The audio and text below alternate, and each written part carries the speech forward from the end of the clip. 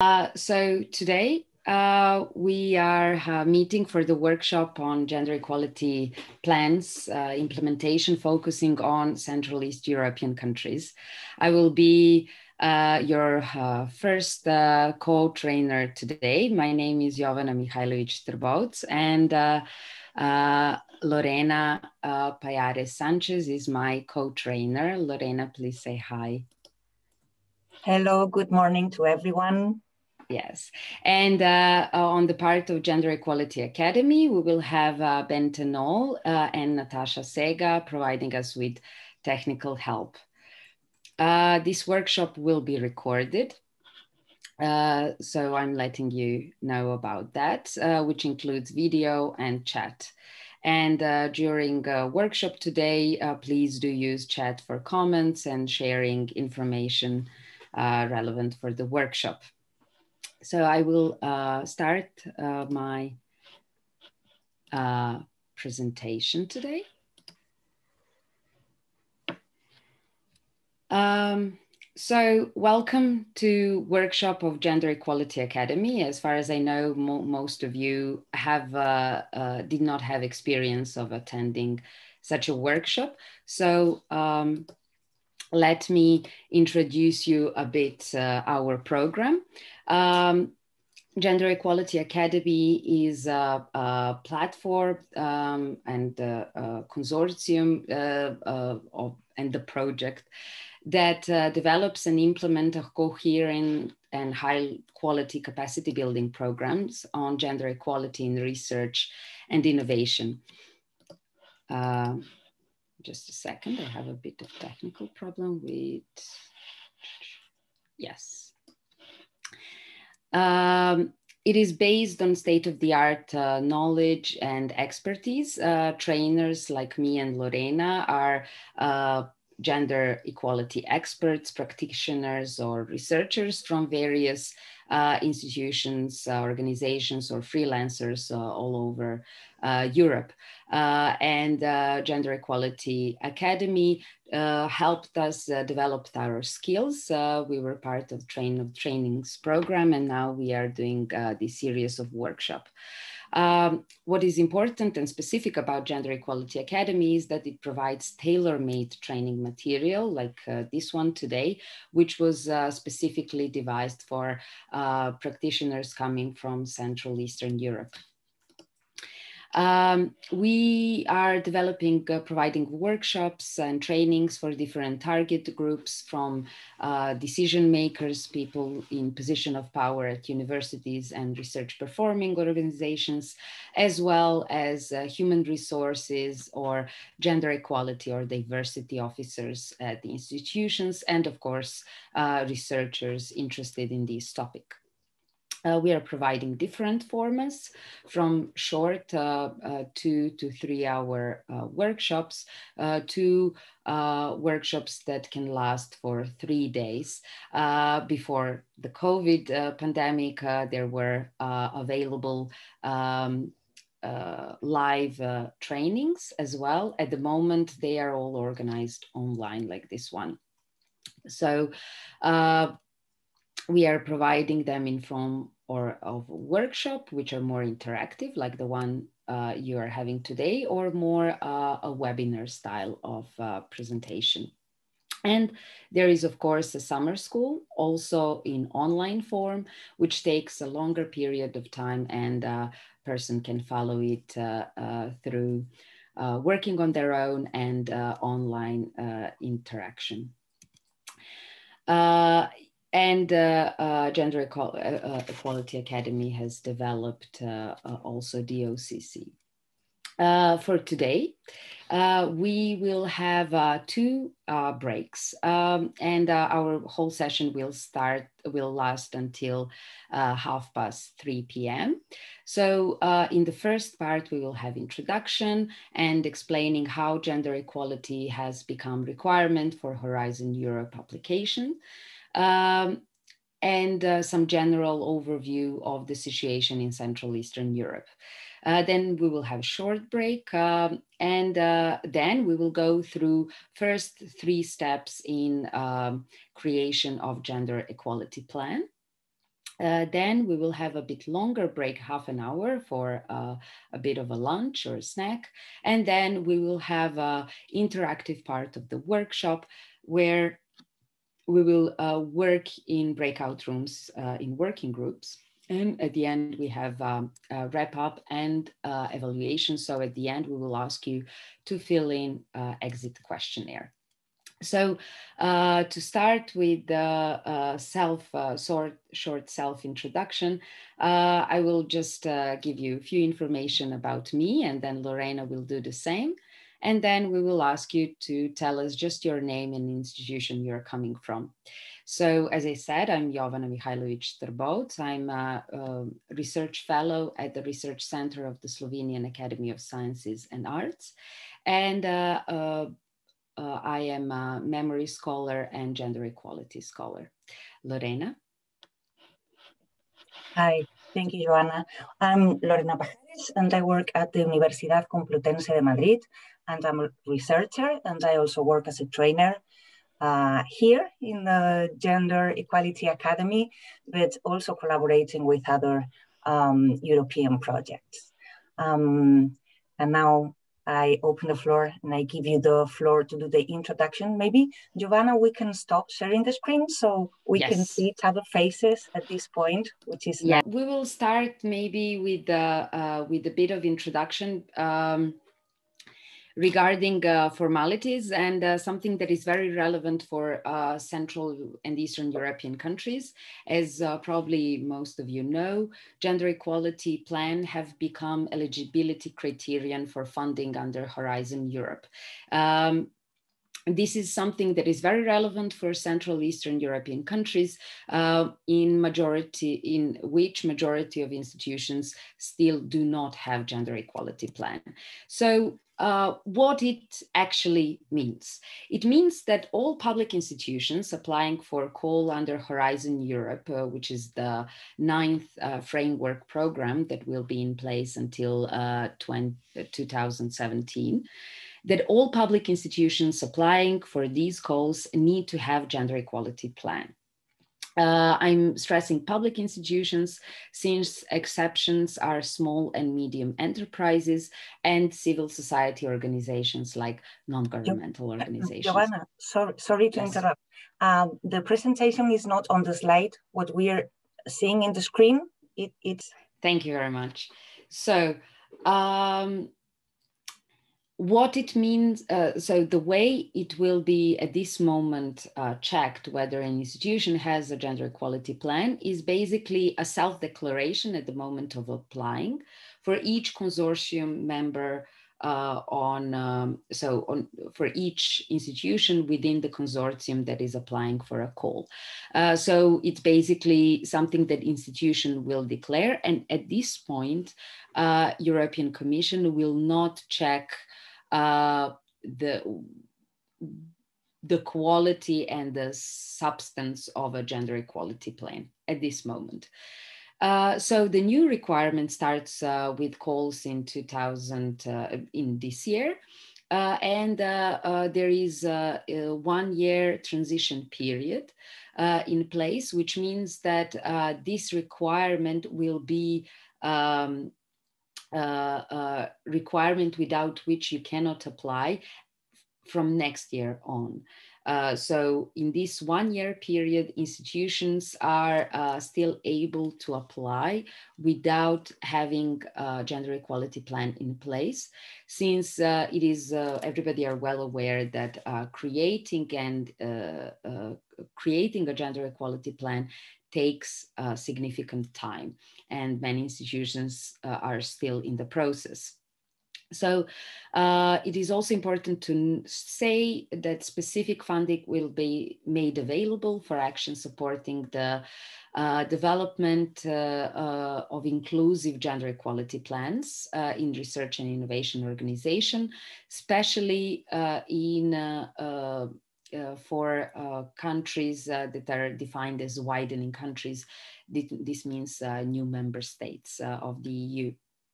Uh, so look out for these uh, uh, uh calls in case uh, you need, you want to get some external additional funding and of course support for creating gender equality plans. Um, the this new rule has been announced uh, uh, practically one year ago uh, as part of gender equality strategy uh, Uh, in 2020. Uh, it is a five-year strategy, and uh, at that point, it was uh, presented as a possibility, which then evolved into a rule, which was announced by Director General of DG Research and Innovation in September last year on one of the public events. Uh, so all the information that I'm sharing with you today are basically a summary of the uh, presentations that were given by different uh, uh members of European Commission on different public events uh, organized either by European Commission or European projects like the ACT project that your community of practice is part of. So uh, on one of such occasion, and that is uh, ACT project matching event uh, in October last year, Anne Pepin uh, from um, uh, Director General Research and Innovation uh, explained that gender equality plan are uh, are supposed to have following building blocks. That means that uh, it is recommended gender equality plans cover following areas. That is uh, measures relating to uh, issues of um, recruitment and career progression, then gender balance in leadership and decision making, then work-life balance and organizational culture, um, the fourth is integration of the gender dimension into research and teaching content. Uh, and uh, finally, gender-based violence, including sexual harassment. So it is not recommended what exact measures an institution is supposed to have, but rather uh, what that institutions should think whether they need some sort of an improvement in uh, following five areas uh, of potential problems. So um, what are the problems uh, that are at stake uh, in when we are uh, uh, um, thinking of uh, gender inequalities in academia and which of them are specific or more typical for Central and Eastern Europe. Um, so the statistic is obviously uh, showing that there is inequality. Uh, proportion of women uh, uh among researcher on the level of the whole EU in average is practically one third. So one third of the researchers are women. And we know that uh, uh, in many countries and in, in the EU in average, women constitute at least one half of undergraduate students in average.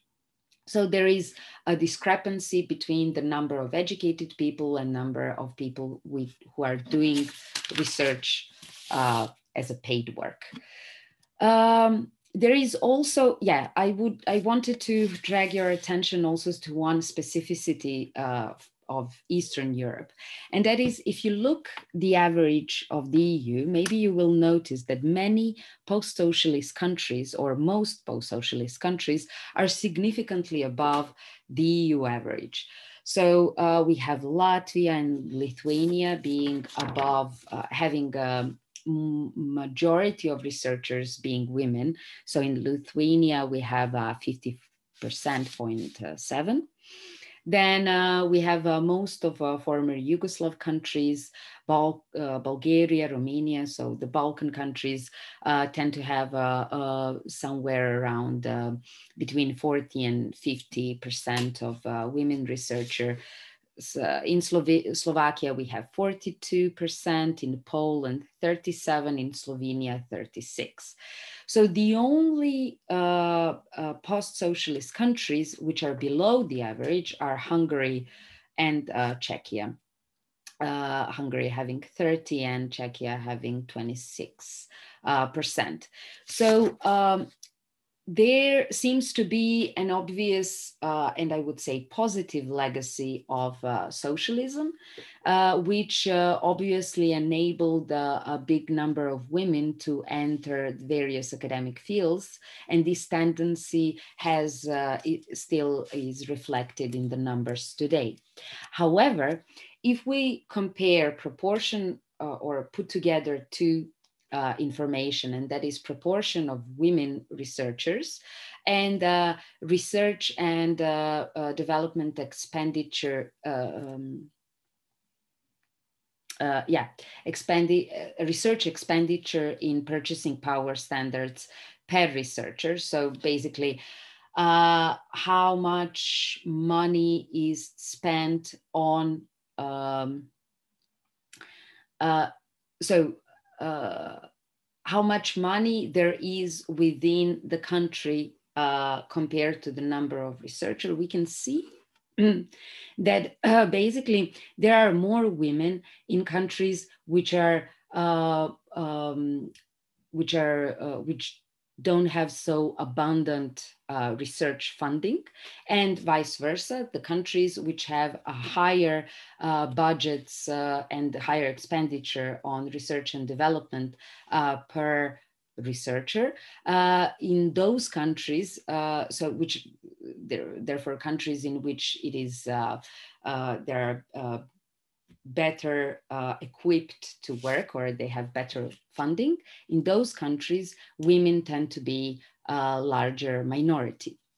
So this is, um, uh, so to put uh, and simplify in short, in uh, many poor countries where not much money is spent on research, women uh, are uh, in in better position, at least in the num in the numbers. So this is the structural problem on the European level that uh, in the countries, in, at the institutions, in the places where more money is spent, there are less women. And then in the institutions and countries which are uh, uh, more poor, um, there are a larger number of women. And this is something that was encapsulated by a concept that was, uh, uh, or uh, indicator that was uh, defined as honeypot indicator, meaning that uh, if we think of researchers as bees, um, the, there are uh, more um, male bees around more around honeypots that are more full. So this is a measure of relationship between concentration of women and men and research and development expenditure. So the study uh, that has been conducted in 2003, uh, in which this indicator was defined for the first time and uh, proven with statistical data, uh, the study from 2003 showed uh, of the new member states showed that the highest proportion of women is to be found in the countries and sectors with the lowest uh, research and development expenditure, and that the lowest proportion of women uh, are in sectors where highest um, with the highest expenditure. So uh, we can also see uh, that uh, on the level of the European Union, uh, that also women tend to, uh, women, female researchers tend to work in higher education uh, sector more than in business sector. And uh, especially in the business intensive sector like uh, IT and other uh, technologies uh, where more money uh, is spent and where higher investments are created there are uh, less women. So these are some tendencies on European level which are spilling over also to um, Central and Eastern Europe. And in some ways, the uh, higher pace of uh, development of research uh, sector is actually uh, having a negative effect on gender equality, at least in numbers. So um, uh, uh, in the statistic then tend to show actually smaller proportion of women in in um, business uh, sector of the research. So this is um, uh, sort of a, a, a, this is one of the structural issues that are um, typical for whole of uh, the EU, but uh, has its own specificities in Central and Eastern Europe. Uh, another typical feature, uh, another structural problem is horizontal segregation, meaning that even if we have parity among men and women in average among uh, research staff, men and women tend to orientate and work in different uh, study areas and disciplines. Uh, and uh, of course, this is something also that differs from countries to countries and is, is related to historical legacies uh, and also specificities uh, and culture of particular uh, setting. So it is important to know what is um, uh, what are the data uh, showing about your country and your institution before you embark uh, on institutional change. Another common another problem at stake is a vertical segregation. on your left side, you will see so-called scissors diagram showing uh, the blue line is showing men and the orange line is showing women and they, it is shown how uh, the numbers are showing different steps in the academic uh, uh, progress on, on the academic ladder. So you can see that uh, at the level of undergraduate and postgraduate studies, uh, women are uh, basically majority in Europe, um, which comes to parity, which when we move to the level of um, doctoral studies. Uh, and uh, then when people start with academic career, I'm sorry, with the academic career, we can see that uh, the, the discrepancy becomes larger, uh, meaning that there is much larger number of men and uh, number of uh, women are fiddling uh, uh, upper that we go up the academic uh, ladder. Uh, so the two last dots are showing the numbers of um, two highest grade of professors, so full professor and um, uh, uh, the level below, uh, depending on how you call it in your language. And uh, this is the, the left side diagram is showing uh, numbers for the whole of research staff. These are data collected between 2013 and 16 and presented in She Figures 2018. So the, the latest uh, comparative figures that we have. Uh, and then on the right hand uh, um, graph, you can see the data, particularly for uh, disciplines of science, engineering, uh, science and engineering. And there you can see that practically not at any level we have actually real gender equality parity. Uh, and that uh, women tend to be minority in all uh, levels, so from the undergraduate student and of course uh, to the level of a university professor, full university professor. Another, uh, so the what what we are seeing here as a statistic is something that has been called leaky pipeline phenomenon uh, in uh, though in analysis of um, um, of uh, gender equality uh, in uh, so in the analysis of uh, uh, researchers who are uh, working on gender equality in academia. leaky pipeline is a symbol for what is for the phenomenon that women are sort of leaking out uh, when uh, uh, when we look at the pipe of progression uh, from the student to the uh, imagined end uh, of of a researcher's career as a senior researcher or full professor. concepts. So the the what we are seeing in statistic and what we are calling leaky pipeline phenomenon uh, is um, uh, is uh, uh, a result of a combination of factors. And I'm going to present some of the concepts that are helping us explain um, uh, why why this uh, discrepancy happens. Uh, so uh, one of the concepts is, uh, so one, one of the causes of the problem is what we call sticky floor. Um, and that means that uh, women and minorities tend to uh, get stuck on certain positions that are somewhere at the at the lower part or in the middle of this career ladder or a pipeline, depending how you imagine. But these positions are undervalued. Uh, and uh, for various structural reasons, women uh, and uh, uh, many other minorities, people who are uh, coming from the who don't are who are not in position of privilege, can take can get stuck uh, in positions like uh, assistant teaching, a non-tenured uh, position.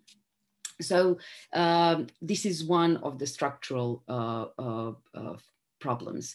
Um, another one is a bottleneck at the postdoctoral level, meaning that um, we have also due, due to uh, structural changes that are also happening in Eastern Europe uh, after the end of socialism, there was abundance of postgraduate programs. And in past uh, 30 years on the global level, we are seeing a spike in the number of people who are uh, getting and finishing their uh, doctoral studies. Uh, but what happens is that, of course, the research sector, both in higher education and in business, but in academia in particular, uh, has a relatively limited number of uh, positions, especially the secured, well-paid positions.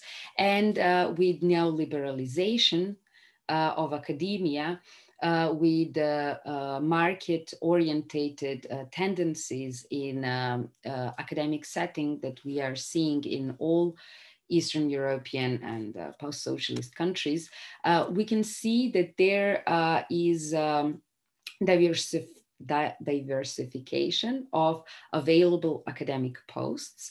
Uh, so the secured tenure track posts are uh, dwindling in proportion and the number of uh, precarious positions for researchers are increasing, but still even these increased uh, numbers or increasing numbers of uh, academic positions are uh, not meeting uh, uh, the, the number of people who actually get PhD, actually get uh, educated. So there is a bottleneck phenomena at the postdoctoral level where many people are actually do not manage to continue their career in academia and uh, have difficulty to obtain permanent position. There is another phenomenon that is typical for uh, uh, continental Europe and uh, for many Eastern European countries, um, and uh, uh, to some extent may be a result also of the historical conditions and um, uh, and the fact that uh, our academic settings uh, have not been so dynamic uh, and uh, mobile uh, as in Anglo-Saxon academic tradition. What I'm talking about is academic inbreeding. That means that university is hiring its own graduates and these graduates then move within one institution from the position, from the lowest position of an assistant to the highest position of a full professor uh, without actually ever leaving the institution. And uh, there is a, a, sort of a hereditary relationship between mentors and mentorees, where um, the future academic uh, and research staff is sort of um, uh, mobilized uh, or engaged at a very early stage, and then they are uh, sort of uh, trained into becoming full professors. But this is why this is called inbreeding is that the system is very often hermetic and does not uh, allow newcomers to enter the scene. Uh, and uh, the system of reproduction is based on uh, certain uh, cultural norms and uh, ways of doing in uh, typical for particular institution and therefore are stiff and hard to change. Uh, this is uh, this type of uh, academic organization has been called by some authors Mandarin uh, organizations uh, because uh, the, the academic mandarins is used as a symbol to name well-established full professors who hold vast power and act as gatekeepers uh, for networks that are very often gendered, meaning they are not excluding women, but they are functioning within uh, unwritten codes uh, that some other authors have been naming uh, mobilizing masculinities or old boys club. So the informal networks of uh, getting and sharing information um, also on the posts on potential work and so forth are shared with the in a neformal way uh, among the people who are in position of power. So this, this system is not directly uh, discriminating women, but it is producing very often gendered uh, effects uh, that uh, uh, women are harder to enter these informal networks, and the longer they exist and are established, it is harder uh, for women and minorities to break them. Um, uh, this is, of course, not something that we can say rules for each of your institutions that you are coming from, but has been uh, recognized as a pattern that is reoccurring in many of uh, European and especially East European countries. Um, so, uh, what I have been explaining is one are some of the features of academia as a gendered organization. What means that an organization is gendered? It means that um, that inequalities persist in workplaces because gender is embedded in the very system of the organization.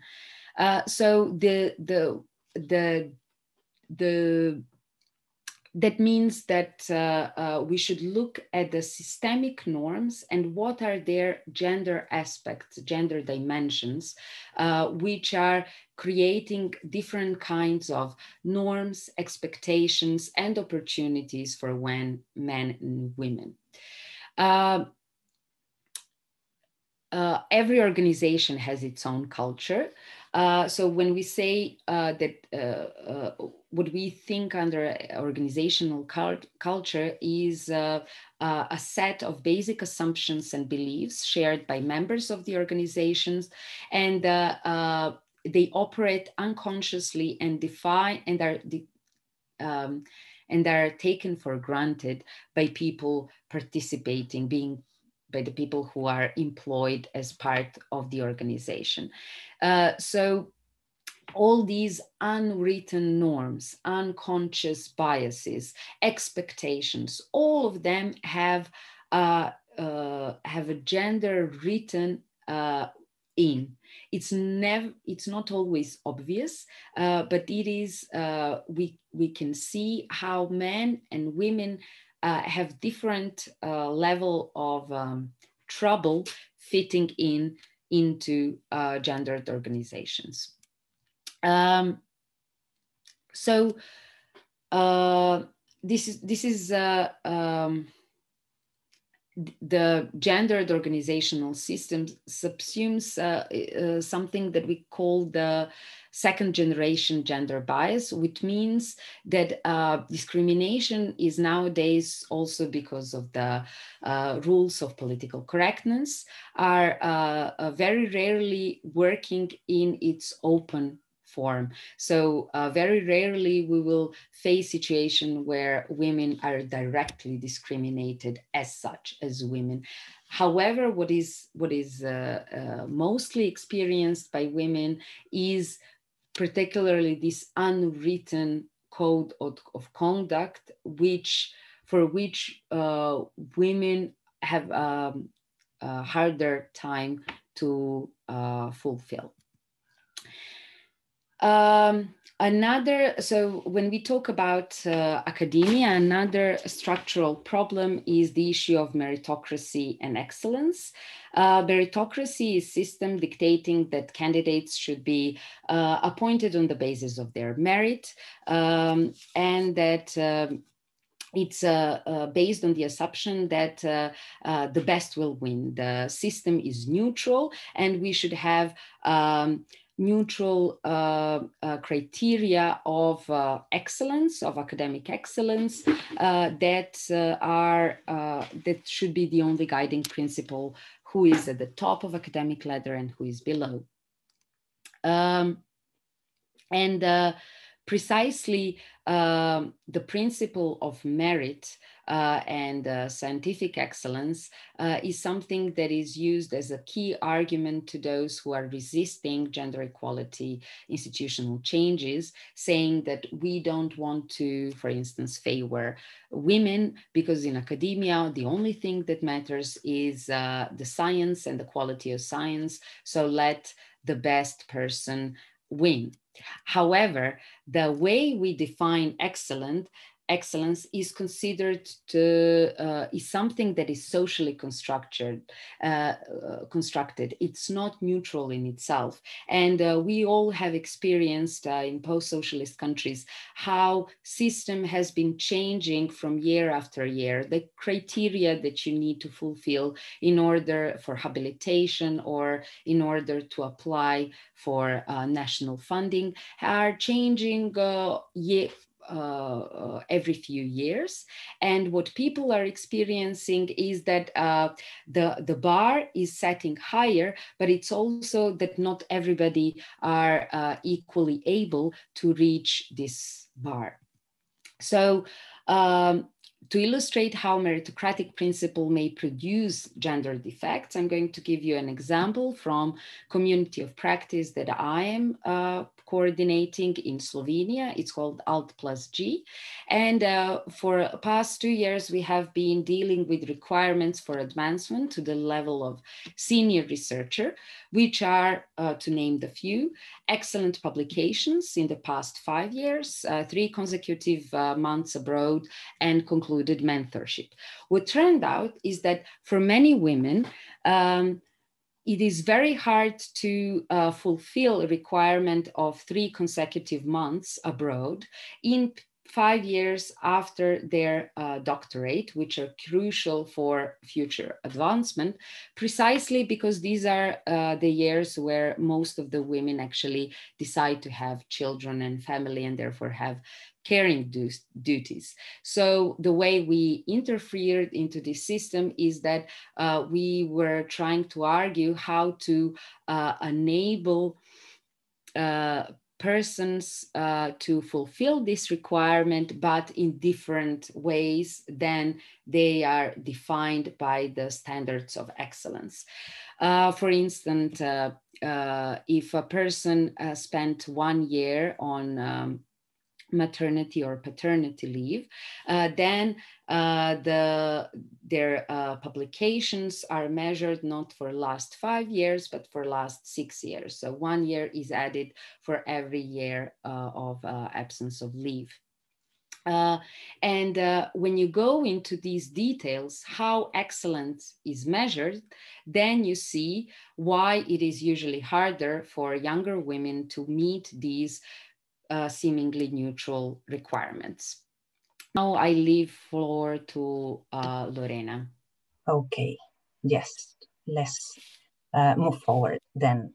Um, and please keep on sharing your question and also share any other input, comment, materials that you think it's interesting to share, examples, okay? Because there is lots of knowledge and experience in the room. So let's try to uh, to get profit with it. Okay, so all comments and and uh, uh, things that you want to share are very much appreciated. Okay, so let's um, let's move forward. Uh, we will start. We won't go through the basic concepts because you all mainly all of you, just like a couple of person uh, said that they didn't have um, knowledge on the topic, but most of you have the basic knowledge and know about the related concepts. So we want, we will skip that part, but please feel free to ask if anything is unclear. Feel free to ask in the in the chat box. Okay. Um, let's start with this general overview. Okay, we need um, a, a roadmap to show us what are the main steps and what are the, the basic keys and principles when we are starting this um, process of structural change and designing our own gender equality plan. Okay, so um, let's start. Um, I will go, just show them all please, Giovanna, because I will go very quickly through this one uh, just because you said that you all you are all familiar with what a gender equality plan is. So we won't go through all of this, but I would like you to stick to a one very important idea here, and is that a gender equality plan needs to include a whole set of action. If it doesn't include, if it's only um, uh, communication or a set of objectives. It, it will be more a kind of strategy, but not a gender equality plan. So we need to be clear on this, what a gender equality plan is not. And it, sometimes institutions, they just adopt one general strategy and they, they present that as a gender equality plan. So we need to know that the mere adoption of general objectives fostering gender equality, it's important, and it's necessary, but it's not a gender equality plan. And also a broader strategy or a broader plan, including a gender dimension among others, which is also quite common, like having a diversity, anti-discrimination general strategy, that is not a gender equality plan either. It is difficult, I know in some concepts, and I'm coming here, um, especially with a political context where um, we are facing really backsliding here, like in Hungary. Uh, it is difficult, and it can be a strategy to say, you know, to skip the word gender not things that suddenly you think that you won't be facing this kind of problems now. It was something that was discussed like years ago, and suddenly again, it's like we cannot use. Of course, I'm not talking even about feminism.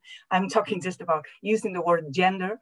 So it can be a strategy at some point to try to hide that into a diversity plan or look for a name that won't trigger that much resistances if that is your context, but still keep in mind that you need it to be focused on gender equality and not on general discriminations. So we need not to lose focus and we need it to have a set of action, okay? So uh, having said this, what are the main steps to set up a gender equality plan? This graphic represents the idea of institutional change as a process so working for structural change implies this uh, systemic and integrated uh, long-term uh, approach. Okay, so as we see here, the GEP design have these different steps. The first, first one, of course, getting started. We will see it right now. Then gender analysis. We need to assess the state of play at our institution. Then setting up the gender equality plan. Then implementing it, which is already the fourth step, the thing is that we, we normally think that the third one is actually the first, setting up the GEP, and we have two previous steps, which are really important. Implementing would be the fourth one. And then we need uh, also to monitor and to evaluate our gender equality plan. And coming to that point, you will say, we're back at the same point. We're not. If we have done things good at some point, we should be in a different position coming to this to this point. And from there is uh, where we need to think, okay, so what is next? No, we uh, we need to think that the gender equality plan is not like a final station, and you know, whenever you have you've you've evaluated it, you're done. It's not like that. It's a long-term process So we all the time need to, to think about sustainability and, and about what is coming next, okay? In this training, we are going to focus on step uh, three, four, and five. Um, but still, don't worry, we will go through the key aspects of all of the steps. Or if one of you were saying in your registration form, the main checkpoints, you were interested in the main checkpoints to prepare gender equality plans. So we will try um, to tackle them all, okay? So let's um, move to the next one. Uh, it's important to know what are the success factors in these kind of processes, okay? First, we need a comprehensive legal and policy setting, which is definitely not a self-sufficient factor. It's not going to, you know, we're not going to succeed on having our gender equality plan just because of this, but at least it will help us and it will legitimize the process. Uh, and definitely it's a, it's a really good argument. I mean, is the law, we have to do it, which is, for example, a good thing that we have in Spain, but is something that in many countries is uh, lacking. Um, but however, in, in the organizational legislation and policies in the countries, there are broad anti-discrimination frames that are often used. Um, the thing is that not so many times they are focused on gender equality, but still we can use that. Then uh, we need support and formal commitment from top man uh, management, top leadership and top management positions. And we can in fact uh, say that lacking this is definitely a major risk for the process. This is a lesson learned by all the structural change process and sister projects uh, that have already experienced it. So, so we need to make gender equality become a priority for top management. And luckily, the thing is that we have a whole set of arguments in the GEAR tool. We will give you the link to the GEAR tool in case you don't know uh, this tool. It's really interesting. And um, there was one of you that were uh, saying that uh, also in the expectations that you wanted to know how to convince your university to implement, uh, to do a gender equality plan. So you can go to this GEAR tool and check all this whole set of arguments besides all the things that we are commenting uh, today, okay? Then we need to balance between this top-down and this bottom-up uh, approach, and also not only within the institution, but also combine it with an outside uh, approach, okay? We're normally very clear about the top-down.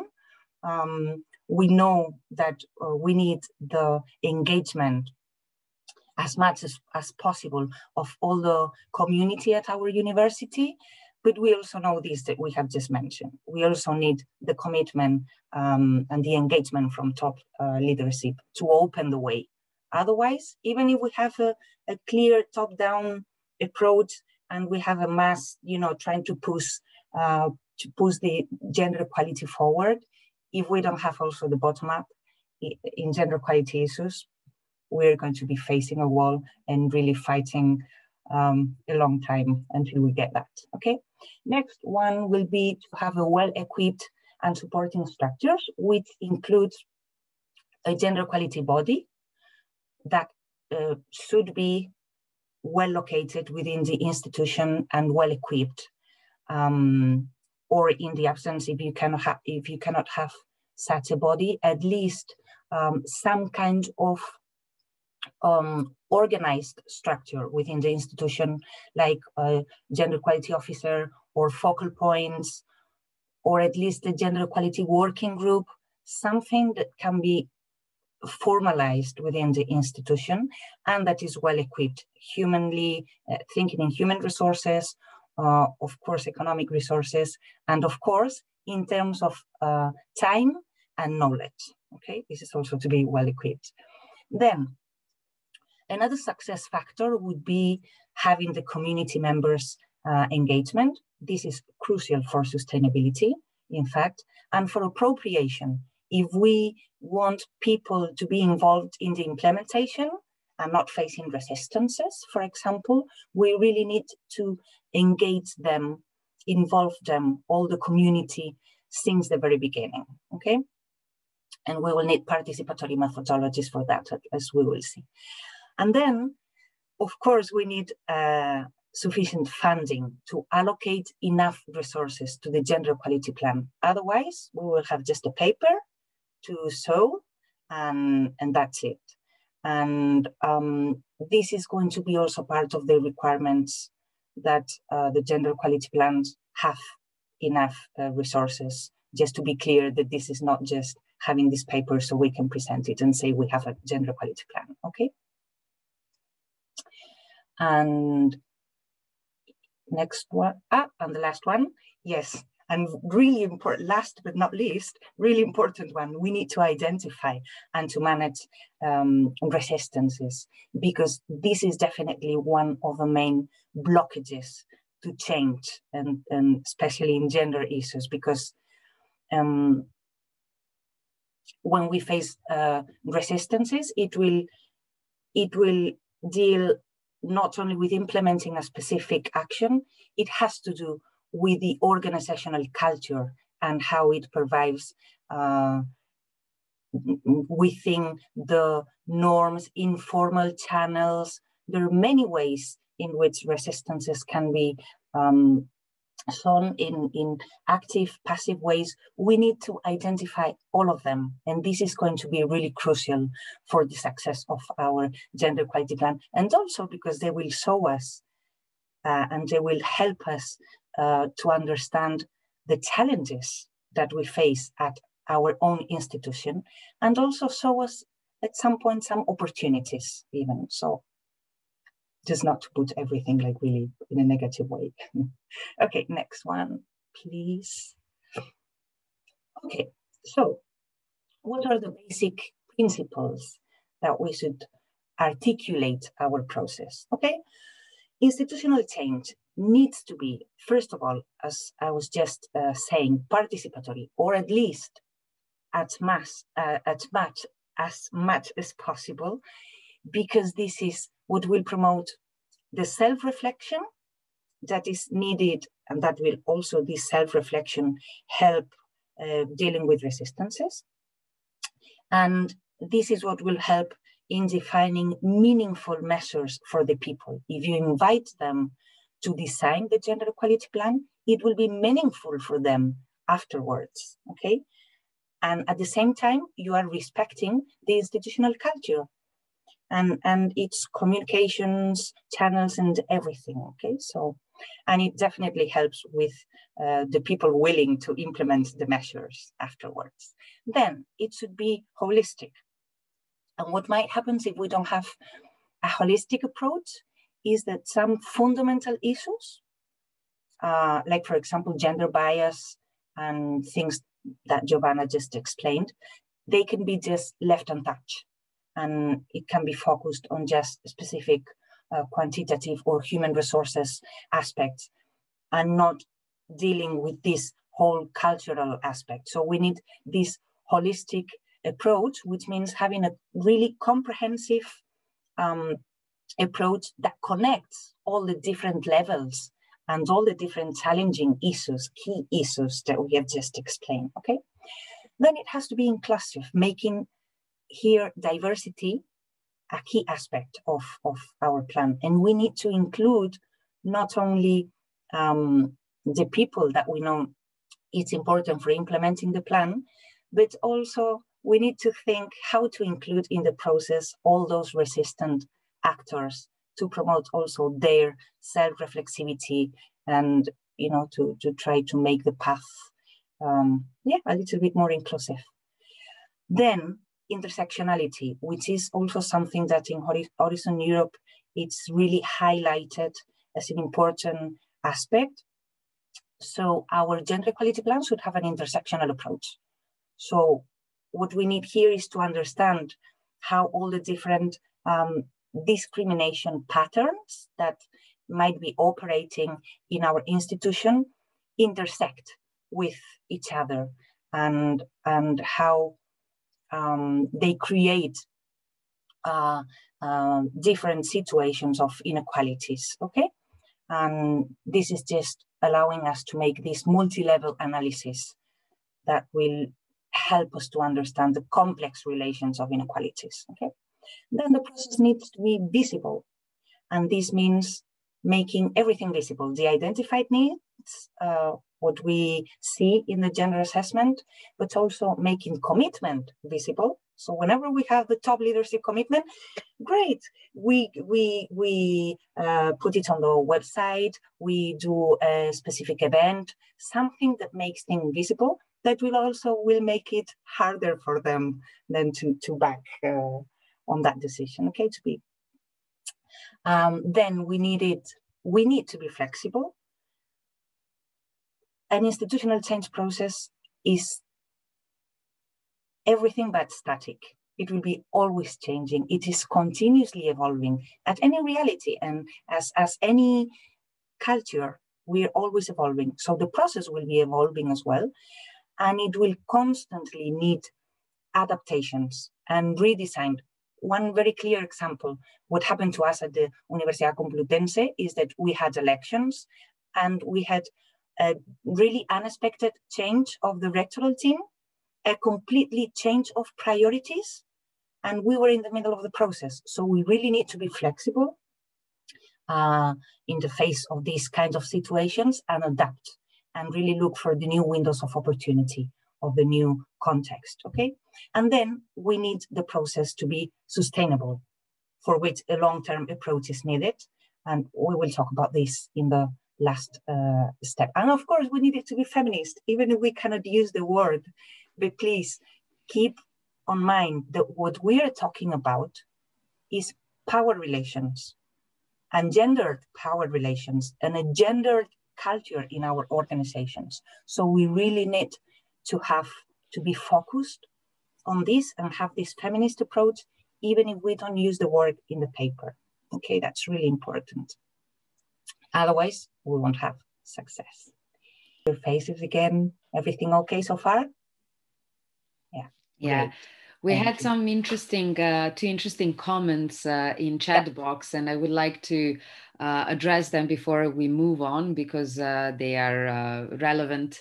Uh, so um, further on on the issue of academic inbreeding, um, to tackle uh, academic inbreeding in their gender equality plan, as I understand. Uh, however, they have experienced that uh, provisions we uh, provisions we introduced in our career plan to prevent inbreeding actually complicated career growth of women, and we will be reviewing them with uh, uh, gender equality plan preparations. Uh, so it basically that doesn't matter whether this career plan was part of the initial GEP or not. Uh, but uh, uh, I think you're doing precisely what um, what the theory, the literature is recommending, and that is um, you create uh, a measure, you created a measure to tackle certain point, but then you have to monitor how it's implemented and how and evaluate how it's uh, what's its actual effect is. Uh, and uh, very often measure may have a different or slightly different effect from what was initially planned. So the purpose of evaluation is not just to check whether the gender equality plan is achieving its goals, but whether it's uh, whether it's uh, maybe producing contra effects. And here, uh, maybe qualitative uh, types of um, analysis could be useful like focus groups or interviews with particular group that you are intending to help uh, as i see like young uh, uh, women and gender equality plan is was never intended to be carved in stone it is a living breathing document that basically should be revised with every uh, process of um, uh, uh, checking uh, its working. So maybe on annual uh, basis when you are when the institution is evaluating uh, effects of its uh, gender equality plan, it is also a good opportunity to think uh, what should be done maybe differently uh, in the next iteration, in the next version of a gender equality plan. Lorena, would you add something on this? Uh, we don't hear you. Yes, thank you. No, I think that was uh, clear, but I would like to address another question. Very interesting one, in fact, if a gender equality plan should be distinct from anti-discrimination policy, but at the same time, um, it should be intersectional. Can you elaborate on that? How you understand the intersectionality of the gender equality plan then, and how is it different from anti-discrimination policy? So this is this is really a key question in and really interesting. First thing is that of course um, distinct it doesn't mean to be excluding one and another. I mean it's interesting that you have in fact many institutions do have this EDI, this uh, equality diversity um, uh, institutional plans or, or policies. But then this is more a kind of institutional declaration or strategy, and it's not exactly a gender equality plan. So they're not excluding one another, but they should be complementary. And the key thing here is that um, intersectionality, uh, what it needs to be is the key analytical framework of our gender equality plan. Um, so it was is this is what will help us uh, talk about the different interlocking systems of power and, and oppressions so that we are clear that we're not talking just about um, the predominant white uh, middle class female scholar and that we take into account all the different profiles and situations um, in our universities. And also it will help us not talking also the, the different um, uh, situations affecting women, but of course to talk also about the privilege uh, regarding men and the different uh, privilege and profiles also within uh, that part. So the thing is what, um, what I wanted to make clear is that, um, and I recommend you to see this Mieke Verloo um, webinar that you can find on the um, uh, Gender Equality Academy um, channel, YouTube channel. It's really interesting.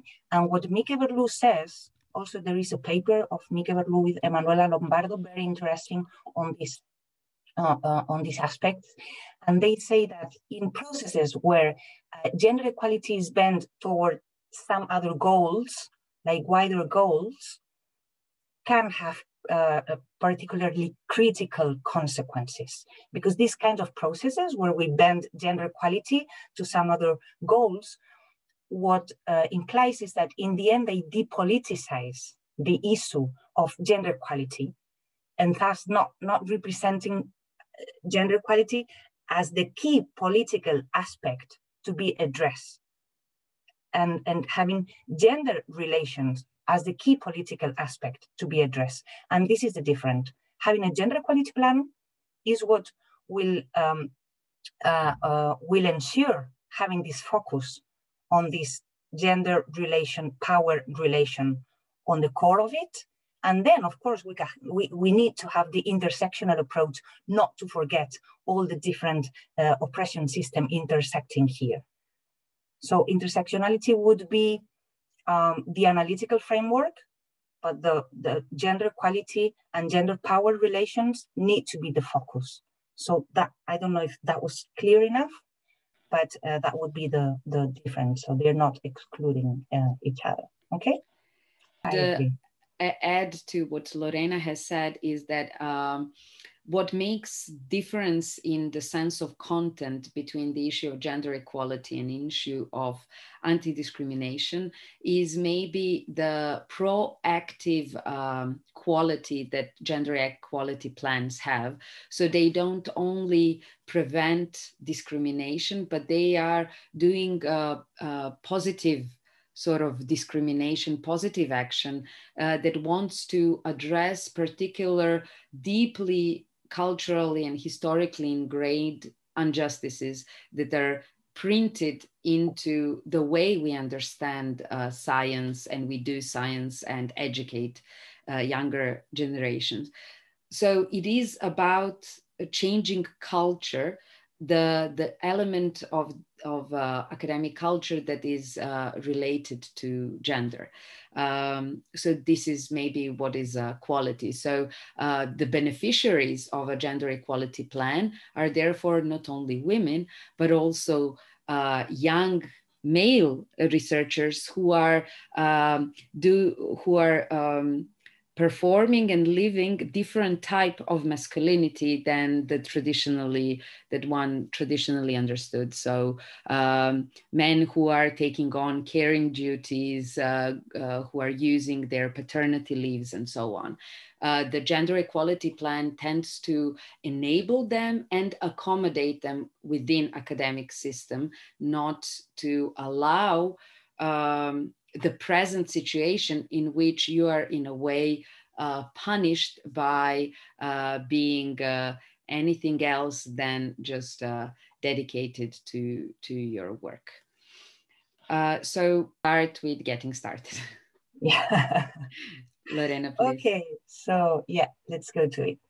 Please, next next slide. Okay.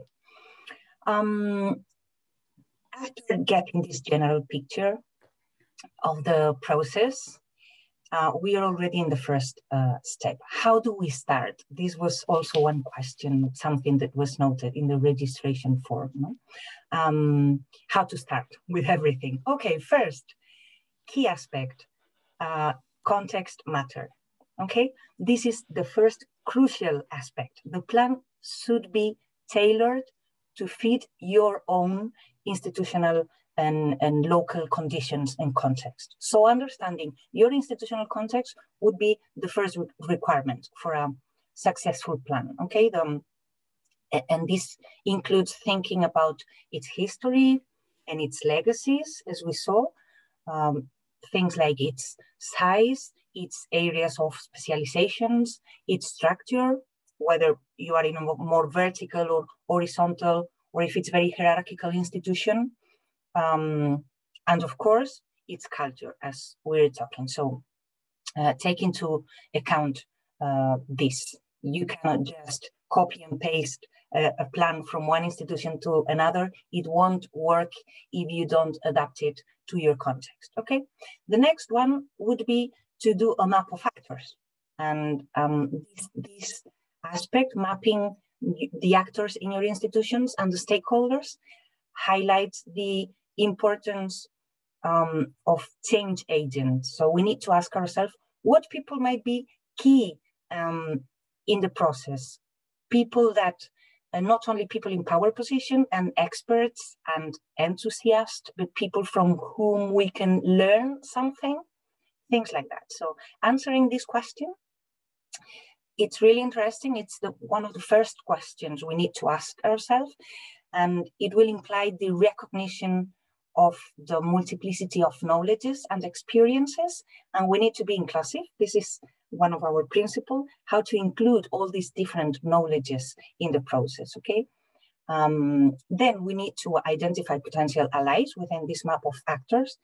And this is really important. And this is also one lesson learned to not to focus all our energies in trying to convince the resistant people, but building, rather focus on building, identifying and building strong nets with our allies, which in fact will help us dealing with resistances.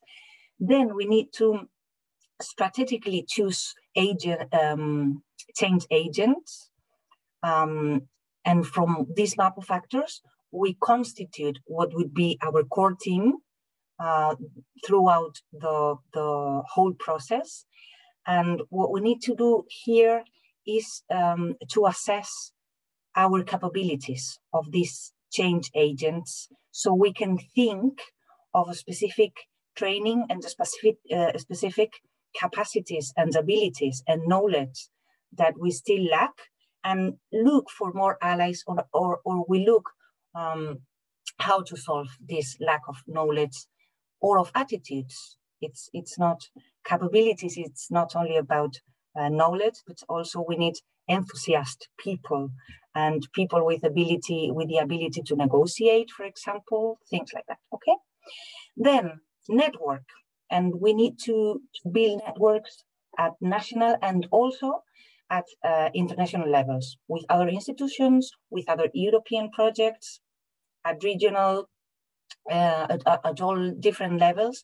And this was, um, in fact, this was mentioned in, in another training precisely by a participant from a CEE country that uh, uh, she was saying that in fact for them, it was this um, she was highlighting the need for partnering with European institutions uh, to look for far, uh, foreign fundings to implement their gender equality plan. And that was their main strategy. So this can be really a success factor, okay? Then we need uh, to consider and to find uh, funding and resources, of course. You can do this either at European level or by similar initiative uh, that you might have available at national or regional uh, level. In fact, the EU funding, as we saw, is one of the main external factor with capacity to, to trigger uh, this kind of, of processes. Um, but however, it's also interesting to check because in CEE countries, uh, they rarely appear, uh, these institutions rarely appear among the gender equality plans um, and structural change process in Horizon 2020 uh, among the different partners.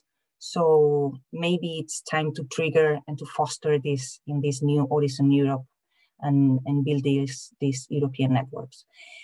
Then we need to get support from decision makers. We just said this is a general success factor, getting top level commitments. And then we need to clarify a mandate. A mandate.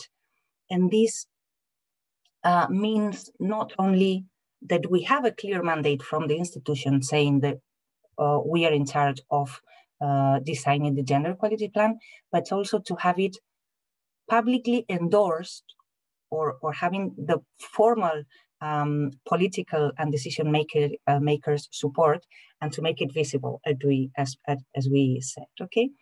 Um, this is more or less our first steps this is also related to one of your expectations. Some of you were asking uh, how to begin the work on gender equality plan at my university as your main expectation.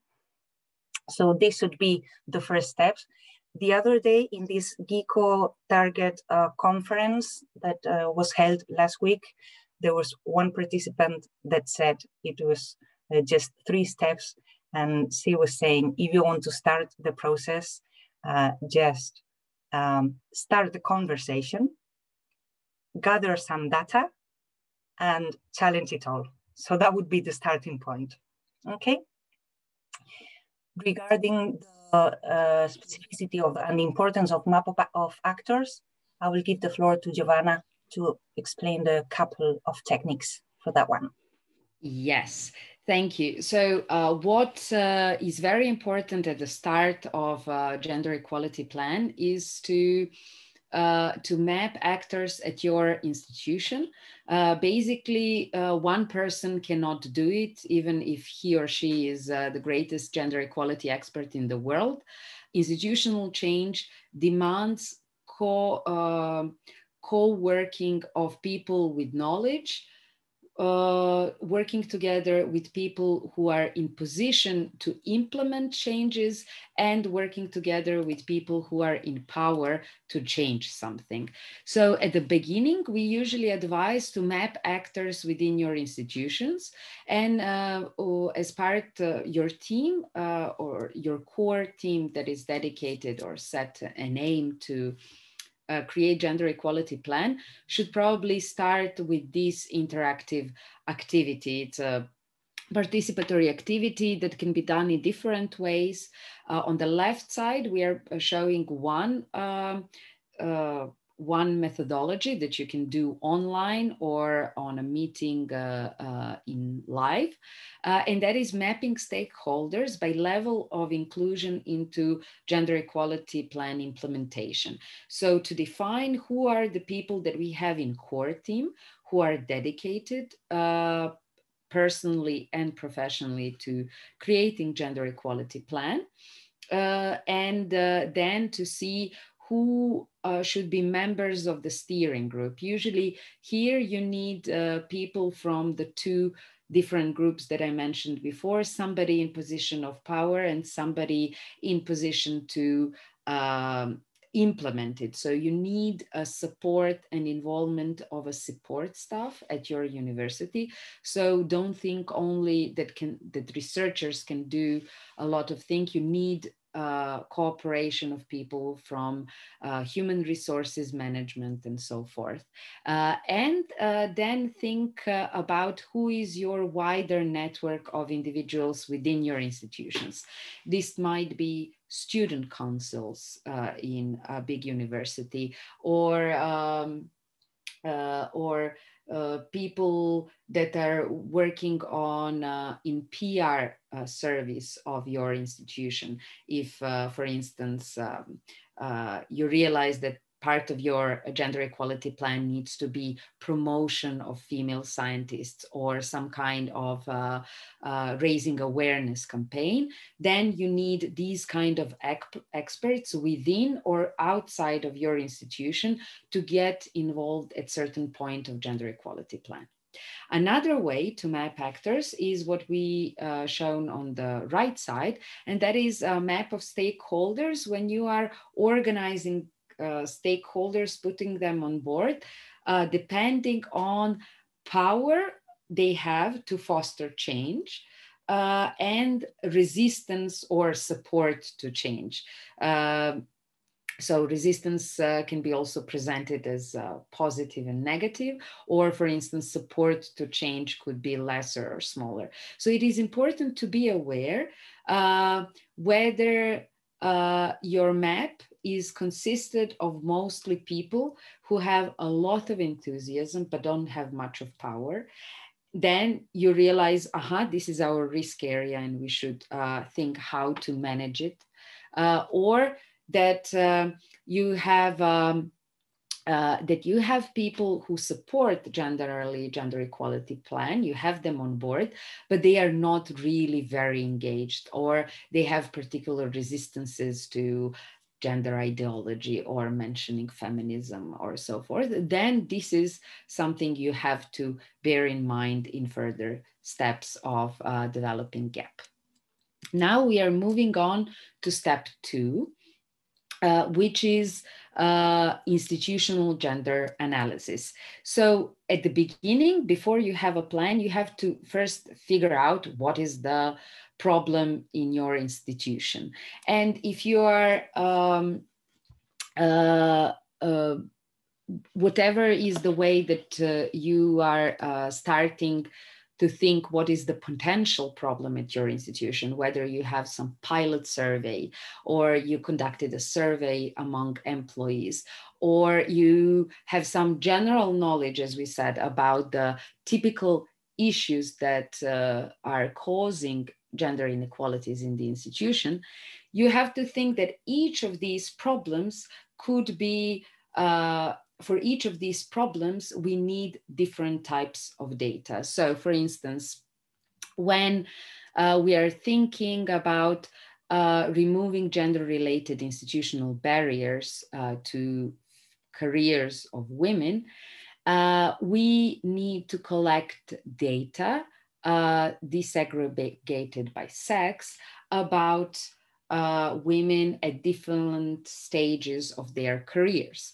Then we probably would get need to get some data about that are reflecting a rate of success uh, among men and women within particular institution. What may turn up uh, turn out is that um, so you need not only data that exist, but you also need to look for the data that are absent from the typical reports uh, that institution gathers, but they might be available to you. So uh, first step is to identify what data your institution is already collecting and then to put them together. Very often, institutions are already collecting data about their employees for various reasons, from uh, you know uh, uh, paying taxes to uh, conducting uh, you know to providing data for uh, she figures collection and so forth. However, not always these da- data are mutually comparable. or are desegregated by sex.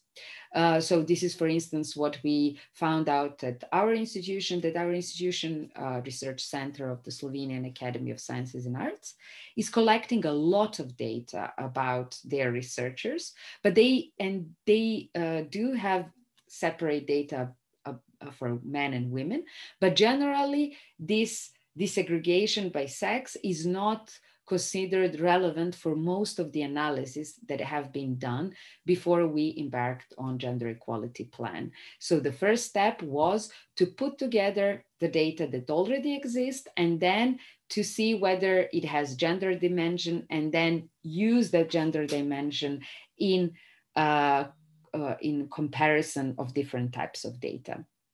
Then uh, as I said uh, on the example of uh, removing institutional barriers to career, uh, or for instance, gender balance in decision making, you need to identify also the data that you don't have, but you need to collect.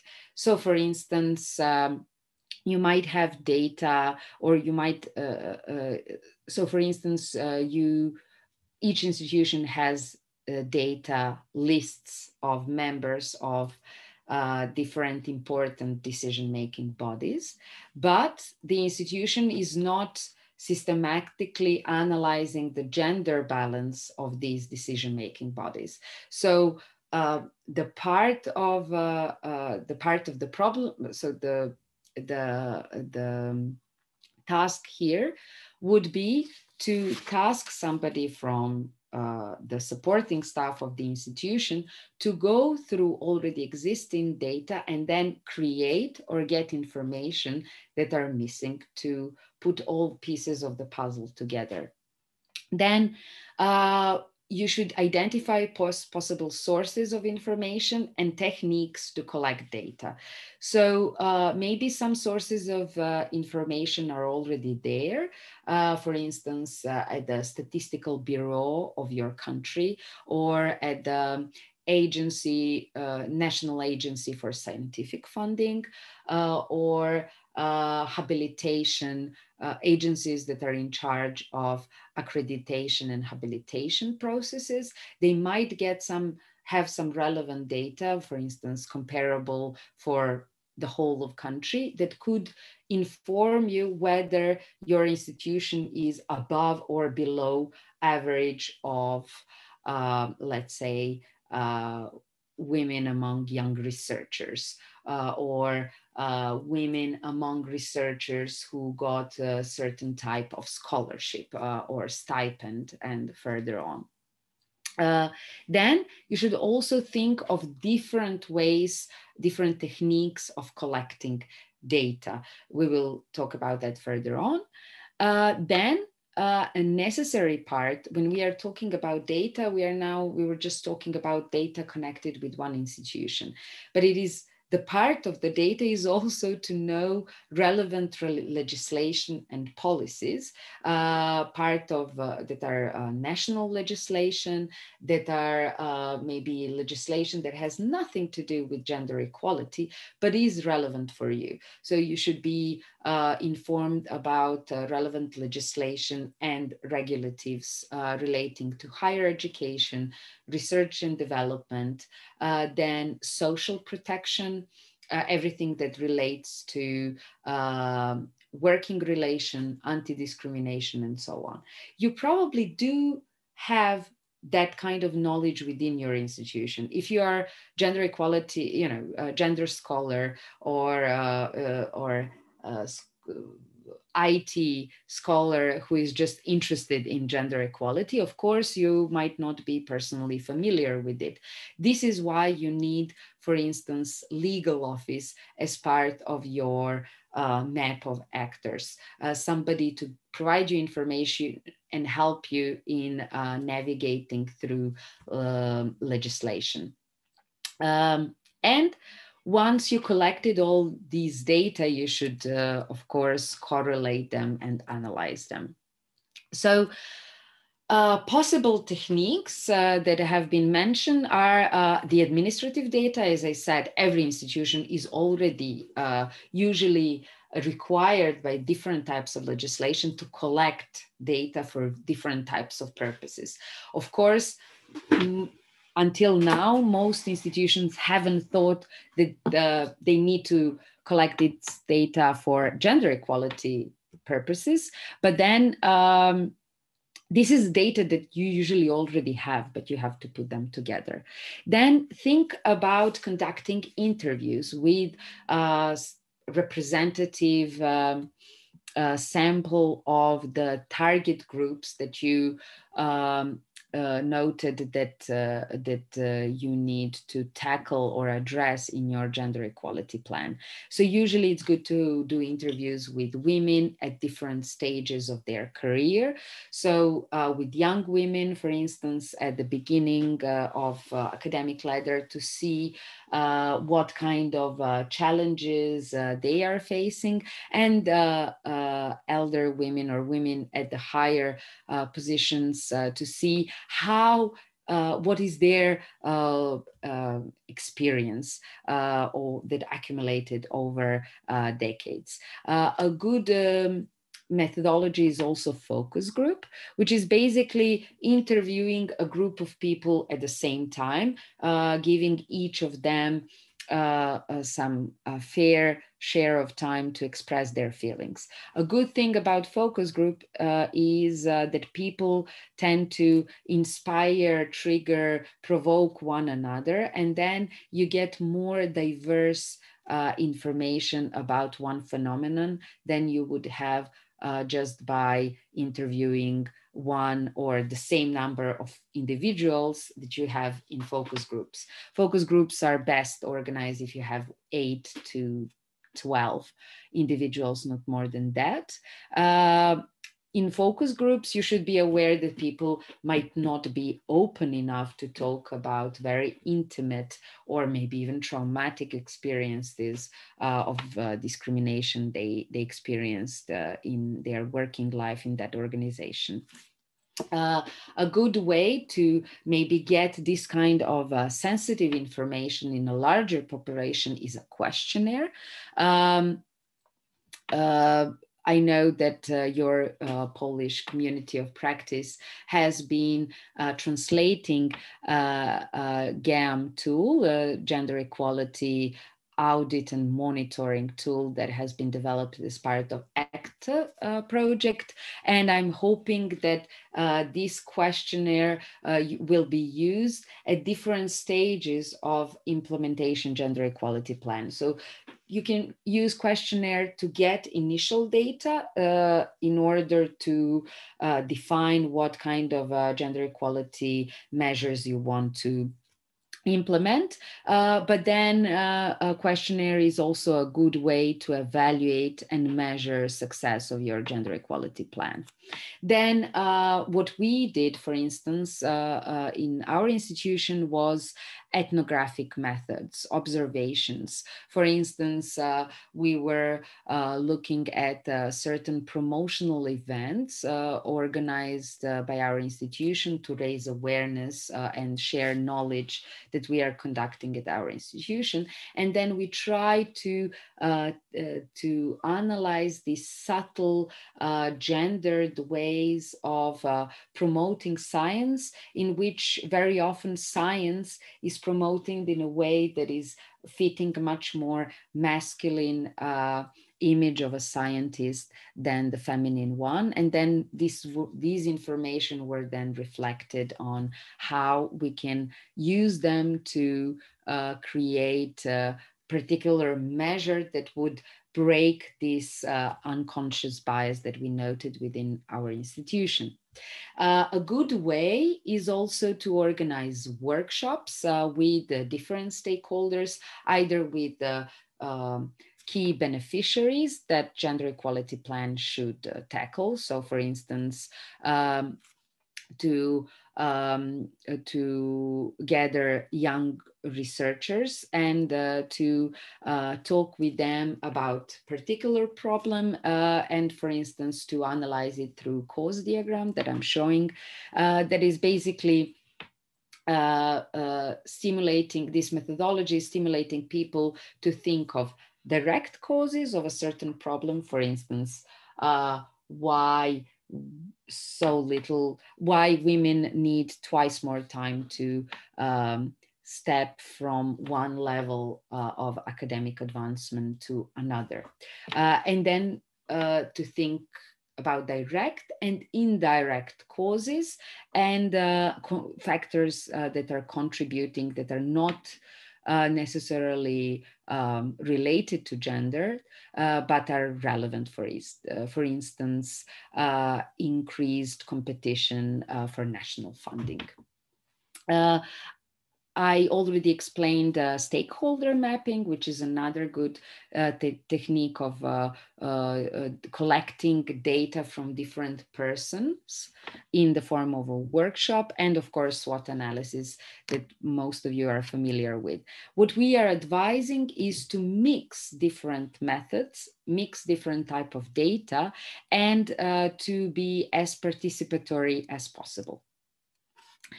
Uh, now uh, I'm just uh, uh, asking Lorena if we have any interesting questions in the chat before we move on. Uh, we have just two people that were adding information to what you were saying, explaining about the GEAM tool, and they placed the link there. So thank you for that. That's great. And no other questions. So we can move forward. Thank you. Go Thank you, Jovana. And go already into um, step three. This is, this is an important step. And the main reason, not only because it will define how your gender equality plan will look like, but uh, um, this is a practical tip. And bear in mind, this is also lesson learned by other structural change projects. Sometimes when you're already implementing your GEP you suddenly realize that what you're dealing with is a problem that is actually a design problem. So this is really an important step, okay? Take this into account. So let's go into it and let's see what are the elements, uh, the basic elements of every gender equality plan, okay? The basic actions to take into consideration when we set up our gender equality plan. First thing is that, of course, we need to get inspiration. We are saying that context matters and that's key. But of course, it's, it's important to get inspirations from measures implemented by other organizations, other gender equality plans, and so on. But make sure to adapt them uh, and all these objectives and measures to our uh, specificities and to our own context, okay? Uh, so having said that, uh, just don't copy get inspiration, but don't, don't, copy paste. What do we need? We need to define the general and the specific objectives of our plan based on the analysis uh, done. And they, um, they should cover these five recommended basic domains that uh, we were talking about. Remember the uh, work-life balance, uh, gender equality in career, in decision making, gender equality in research, uh, and in teaching and uh, sexual and sexist harassment, okay? They should cover at least uh, these five areas recommended. Um, then, once we have our objectives, we need uh, to define the actors to be involved, okay? Um, ah, sorry, and for, I jumped. Uh, for each objective, we need to define at least one measure of re, uh, regarding institutional change. Okay, uh, and at least one per objective should be more, but at least one. Okay, otherwise, if we don't have measures and and specific actions, as we said before, we cannot consider that to be a proper gender equality plan. Okay, maybe a statement, a strategy, but not a gender equality plan. Okay, um, so what are the basic requirements here? Our actions, our measures should be uh, based on this empirical problem that we have just analyzed with our gender analysis. It should address at least one of the five objectives that we, as we said, explicitly address them. Uh, it needs to um, formulate precise targets and, and, target groups and take uh, intersectionality into account here. And um,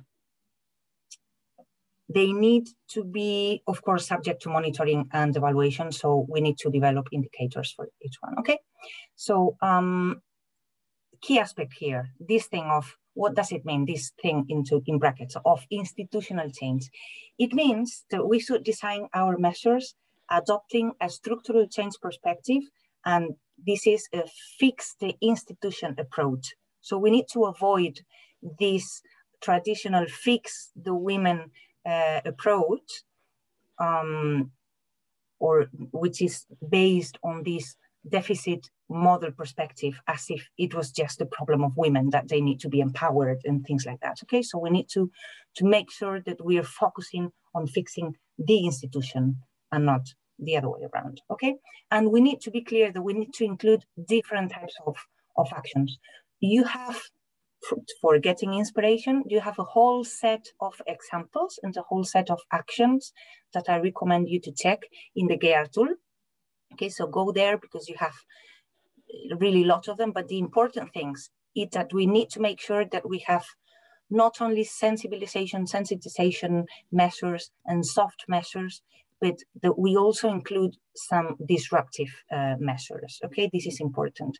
And the thing is that the experience in CE countries is that these soft measures are widespread, things like awareness raising and trainings and, uh, you know, like just the declarations of being committed and things like that. But at the same time, these uh, hard targeted measures like uh, quotas, compulsory training, for example, for decision makers, um, things like that are more rare or many times absent. So we need to be clear that we need all kinds of, of measures, okay? Um, taking into account that, of course, should be adapted. And one of you were also um, asking, in, um, stating in the expectations that um, um, she wanted to know about the most effective measures uh, to enable structural change we have no answer for that. It's we don't have the most effective ones as the good ones and the less effective ones or bad ones. It will depend on the context.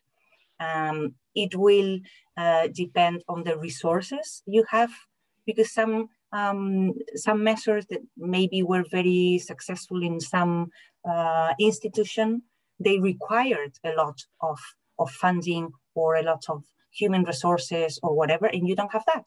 So you try to implement the measure and you will fail. So you need to take into account all the different aspects that we have been talking about, and you won't have a successful one or a best measure to implement. You will need to design them according to your analysis and your own context and design it in a participatory way. And that is the successful measure, the one that is designed from uh, the inside and in a participatory way, because as we were saying, people will be willing to implement those measures that they were in, if they were involved in designing it. So that is the successful factor for the for a effective measure, I would say. Um, then uh, we need to think about the actors to be involved in its uh, measure, and we need to define who is going to be responsible for, for execution, execution. We need to agree on the responsibilities for each measure and for each person or each unit, not uh, specifically a person, sometimes a unit or a department or a vice rectorate, whatever. Okay, so an agreement needs to be made on the on the team that, that it's going to be involved in the implementation of a gender equality plan, okay? So remember your map of actors here and define who is going to do that and when. So we need to um, set also uh, a, a, realistic time frame and say who and when uh, is going to, to be done, no? that, that specific uh, measure. And then, of course, resource uh, resources needed. We need to identify, leverage, and, and all the resources needed, including, and this is also a tip, um, look at the existing resources within your institution and not only for external funding. Look at what is going on uh, when you're planning the measures. Um, and that way we can use all the resources available within and outside the institution, okay? And this means, of course, financial resources, but also human resources, but also other resources like data collection procedures, uh, like existing policies, existing services with whom we can collaborate, um, knowledge that we have available in our institution, communication tools already in place that we can use. These are, these are also important resources, okay? Um, and in fact, building on existing resources is what will promote institutionalization, which is a key factor for sustainability, okay? Um, so that's it. We are going to propose to go uh, into participatory dynamic now. Jovana, do you want? Yes. Yeah. So what we are going to do now is that we will divide you into breakout rooms. Uh, One thing, but just about the methodology, because I think it's also interesting that you can uh, use these these kinds of methodologies within your institution. And the good thing about this Lotus Blossom, it is, is that um, it is really well organized as to easily facilitate uh, the the starting of that of that discussion needed no? So it, it's really a good tool to implement it with your own teams or with the core teams or with a, a specific uh, people within your institution and put them together to think about that. Um, and and you can really come to to really good ideas to directly be placed into the gender equality plans I mean, it is supposed just to start the conversation and get like the, the first uh, brainstorming on general ideas. But sometimes, really, from this exercise, you can just uh, write it as an objective, like in group two. It, it is almost an objective already, the solution that you presented, like assure gender balance in, in management bodies, that can be directly translated into an objective within your gender quality plan it is um, it, it is specifying what you want to achieve. It is specifying the target group uh, that uh, it's supposed to address. Um, so sometimes this exercise is, is really, really productive in that way. And also it helps because it uh, not only gives you formal actions to be placed into the gender equality plans, but sometimes it also gives you ideas for your own personal strategy as a team.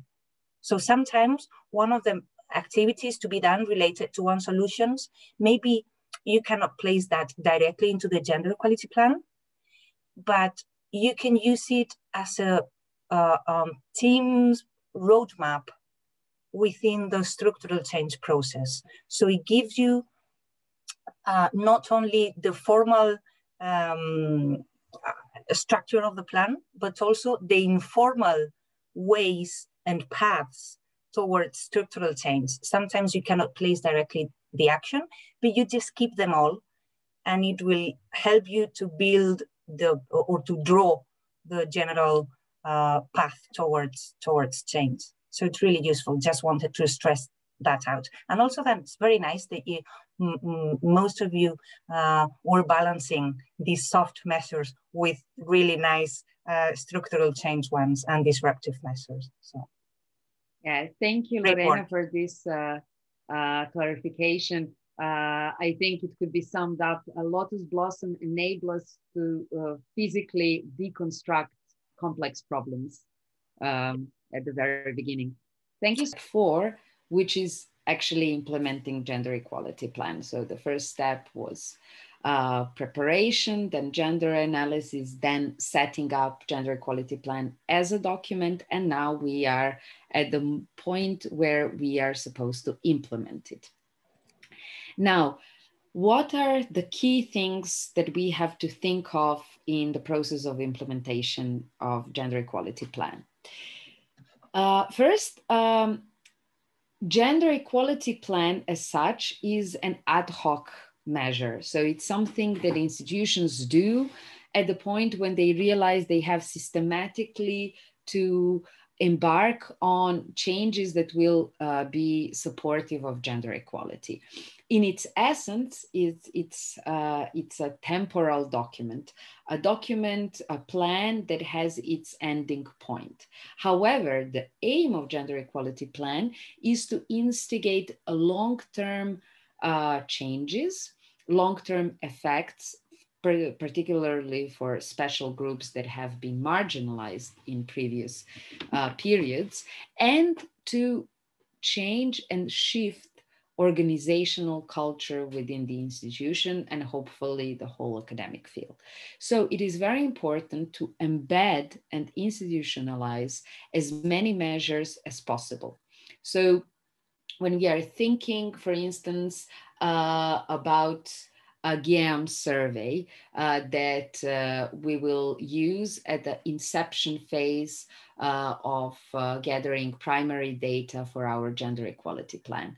What is good to think is uh, the ways in which we can include, for instance, that questionnaire into annual evaluation uh, of the institution. Uh, make it, turn it into an annual or biannual event for your employees, and then keep this data in one place where you can systematically, for instance, follow the progress. This is good not only for evaluating, measuring the effects of gender equality plan, but it, uh, the, the, the whole aim of, uh, of GEP would be to, to transform, to, to put new measures into already existing institutional structure uh, or to transform already existing practices uh, such as annual evaluation of researchers or um, or uh, meet and retreat events uh, that are already organized within the institution.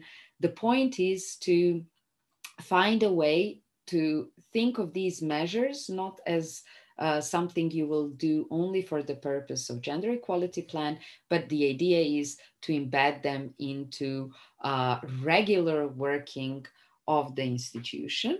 And more importantly, uh, to involve persons who are otherwise not seeing themselves as gender equality experts or officers, but are, for instance, um, you know, doing uh, uh, some other types of uh, bureaucratic administrative support work at the institution, uh, involve their already existing activities with the measures that you're planning with the gender equality plan. And in that way, the, the plan, the, the GEP, even after its ending, becomes the part of institutional structure.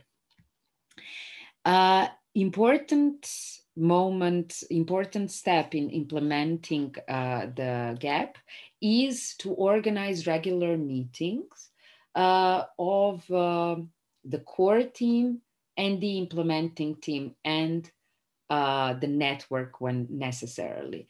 Uh, so the implementation team needs to organize, to meet regularly for two reasons. First, um, uh, especially at the very beginning of gender equality plan implementation, uh, this is a, a, a, project like any other project. It is uh, structured around uh, concrete activities, measures that are time bound and should be delivered in particular way uh, by responsible person until concrete deadline. Therefore, um, regular meetings will help core and implementation team function more smoothly, especially bearing in mind that implementation of a GEP uh, demands involvement of a range of diverse actors like uh, uh, administrative support staff gender experts and maybe you know heads of departments that have nothing to do with gender as a topic uh, these are the people who generally don't work uh, on regular basis with each other. Maybe they don't even meet on the corridors of the building. Uh, maybe don't, they don't even know each other from before. So regular meetings are also important for um, creating sense of community. uh, a small community of practice within one institution. And here we are coming to the second point why it's important to have regular meetings of implementation team. Every meeting of this kind is also an opportunity for raising awareness about gender equality or gender inequality issues. Um, as we, uh, as you realized in your working groups, um, in the discussions uh, uh, before the lunch break, um, there is a, a, lot of to be done in uh, just creating and building awareness and then creating and building some concrete practical knowledge that goes hand in hand with such an awareness about gender equality issues. This is not something that uh, comes to people naturally or uh, happens over a month uh, or is something that could be uh, you know read in a toolbox or in a scientific paper and after that you you understand everything uh, the it is constant process of um, uh, knowledge exchange between the people who maybe have um, theoretical and practical knowledge on gender equality, but don't have experience of institutional uh, change reform. And then you have people who are working their whole lives in the administrative administration of a university. They know the institution inside out, but they generally don't lack understanding on what is the whole point of what is the difference between sex and gender and why is this relevant for them. These two types of people need a place for sharing. So this is also why um, regular meetings are important. And uh, regular meetings are also important uh, with senior management and leadership who are not necessarily, um, they don't necessarily need to be involved in day to day activities of implementation of GEP, and very often they are not. But what uh, has been noted in the practice is that very often there is declarative or even genuine support of a dean, director, head of institution uh, at the beginning of implementation of GEP. But then, um, but then this commitment is sort of uh, forgotten or um, what I want to say is that it needs to be reinvigorated. So uh, very often we, in the process of institutional change, uh, the core team for JAMP implementation needs to coordinate and needs support of the top leadership of the institution, but also of the middle management, heads of departments, uh, heads of uh, different administrative services. And uh, they might not be personally committed to gender equality plan uh, to equal measure.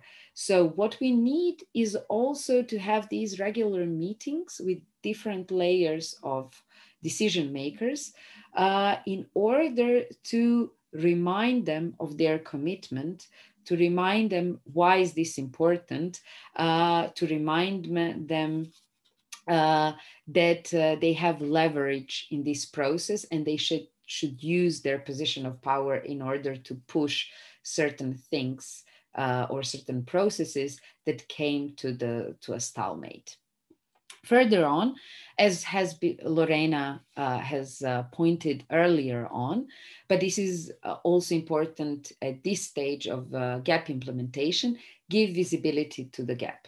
So uh, distribute GEP when it is accepted as an official document. Put it, so distribute it through all channels of communication with uh, the employees, put it on a public spot on the website, inform people that it exists. But also, each time you reach a milestone uh, in GEP implementation, or after six months, one year, two years of GEP implementation, you as a core team uh, should take a position, uh, um, make it visible.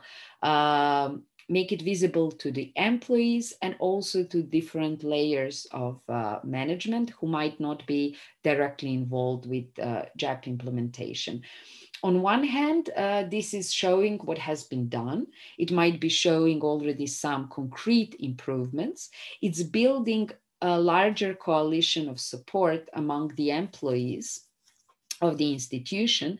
And it's reminding newcomers in the institution that we have gender equality plan in place and that there are bodies and persons responsible for certain uh, measures, certain activities that have gender equality as their aim. Further on, important in implementation of the GEP, as I said before, think that GEP is living and breathing document. So GEP uh, GEP is uh, a document that is open to constant adaptation and amendment transformation, depending on the feedback that you get from the field. Uh, so if you are conducting uh, monitoring after one year and you get information, uh, you, you uh, you get data that is showing you uh, lack of progress that you were expecting, then go back to the measure and think uh, how you can check whether the measure is working the way you want, whether it's achieving the beneficiaries the way you expected, or whether it's producing some unwanted results and therefore you need to transform rethink and change the measure that is written in the gender equality plan. An important part of implementing the GEP is to identify and manage both risks and resistances. So don't shy away from the potential problem but face them directly on. And if you're sensing potential risk or resistance, act proactively. So if you're considering that there might be uh, an uncooperative uh, element in the chain of decision making, uh, invest time and energy into persuasion, uh, negotiation with the with the this person or this um, uh, department of your institution. So instead of uh, trying to avoid problems, the, the, the whole point of implementing the GEP is facing the problem and then uh, solving them hands, uh, hands on. Um, further, mm -hmm this brings us to the main or typical risks and common obstacles that uh, uh, that uh, people come uh, to experience while implementing gender equality plan. The, the very common one is lack of support from the leadership.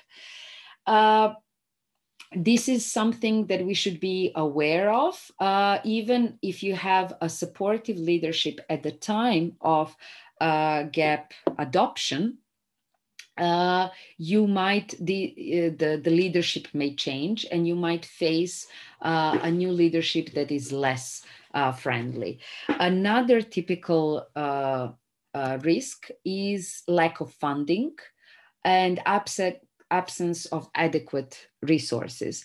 This is also what uh, happens uh, when um, gender equality plans are developed as part of European project. And uh, uh we end the project with the gender equality plan in place, uh, but uh, without mm, people or without time of the people who have capacity to do it but don't have time to keep it going and actually implement gender equality plan. This is time and uh, this is time consuming um, activity and the institution should be aware of that and the core team needs to think about the time as a resource even if you don't have um, competence uh, within or all the competencies that you need. Uh, again, it is a time and money uh, issue in the sense you either pay somebody from outside to provide you a type of analysis that you cannot do within in, in your house, or you need to find additional staff or uh, release uh, uh, part of time of the existing staff in order to dedicate uh, to the GEP related activities. Uh, uh, uh, one of the big risk uh, is a lack of institutionalization, meaning that uh, that gender equality plan is created and then remains just an ad hoc activity that five years after its creation is not part of the institutional written and unwritten practices. This is very important to think about institutionalization not only as formal procedure, but also as informal practices that are taken for granted as a rule within one institution. So GEP needs to become part of these formal and informal institutional mechanisms then uh, you should think that uh, you might have very supportive top leadership, but the, the key resistance might be at the intermediate level, either at the level of heads of department uh, or, or, head of a, a research uh, group, research programs, or head of administrative units within the institution. And then you have to think how to use uh, top down and bottom up pressure to mitigate uh, this uh, mid-level resistance. Uh, another typical organizational uh, resistance is the one that uh, um, bureaucracy, administrative apparatus within the institution uh, is seeing itself as gender blind, or um, what we have talked previously, the, the notions of uh, excellence and how we measure it, which are embedded in the functioning of the uh, of the academic institution are considered to be gender blind or neutral. And therefore, uh, any intervention in this field is considered uh, uh, to be some um, meddling uh, that is an illegitimate, uh, not uh, not not okay, not in the spirit of of science and objectivity. So you have to think how you will uh, address this risk. Then. Um, what we have talked uh, in the uh, morning uh, uh session, we also, you have to think how to tackle the risks uh, that gendered character of scientific culture is maybe not reflected in your community. So what might be very obvious to you that the, the masculine typically mass when we say scientist we imagine white middle-aged uh, man uh, dressed in a white uh, lab gown. Uh, and this is when we say scientist, this is the psychological image that is created in our mind. Actually, majority of uh, researchers might be younger women sitting in front of their computers and not sitting in a lab. So how to break this very often unreflected and uh, gendered uh, underlying base assumption is something that is a risk that you have to think of. And uh, this, uh, uh, this uh, also um, another common risk that we basically already mentioned is to um, how to negotiate principles of gender equality and everything that it subsumes with very strong competitive and meritocratic culture uh, that academia is. Uh, this is a big challenge and something that uh, implementers of gender equality plan has to think of. Now we will go to another uh, group work we are coming to very practical and sometimes uh, the most tricky uh, part of implementation uh, of gender equality plan, which is uh, also very important for its sustainability and uh, long-term institutionalization. Um, so the key aspect that you have to think when we are at the step of monitoring and evaluation is to understand that this is not just uh, two names for one thing. There is a difference. Monitoring means following the execution of uh, gender equality plan implementation. Uh, so um, it is a, a, a responsibility on uh, on part uh, that is given to individual persons. This is why the uh, important part in in gender equality plan is to um, delegate uh, exact responsibilities to exact individuals uh, within the exact uh, time frame. Uh, and uh, then to uh, also identify who will monitor them and be um, in position to, to control whether what has been promised is being done.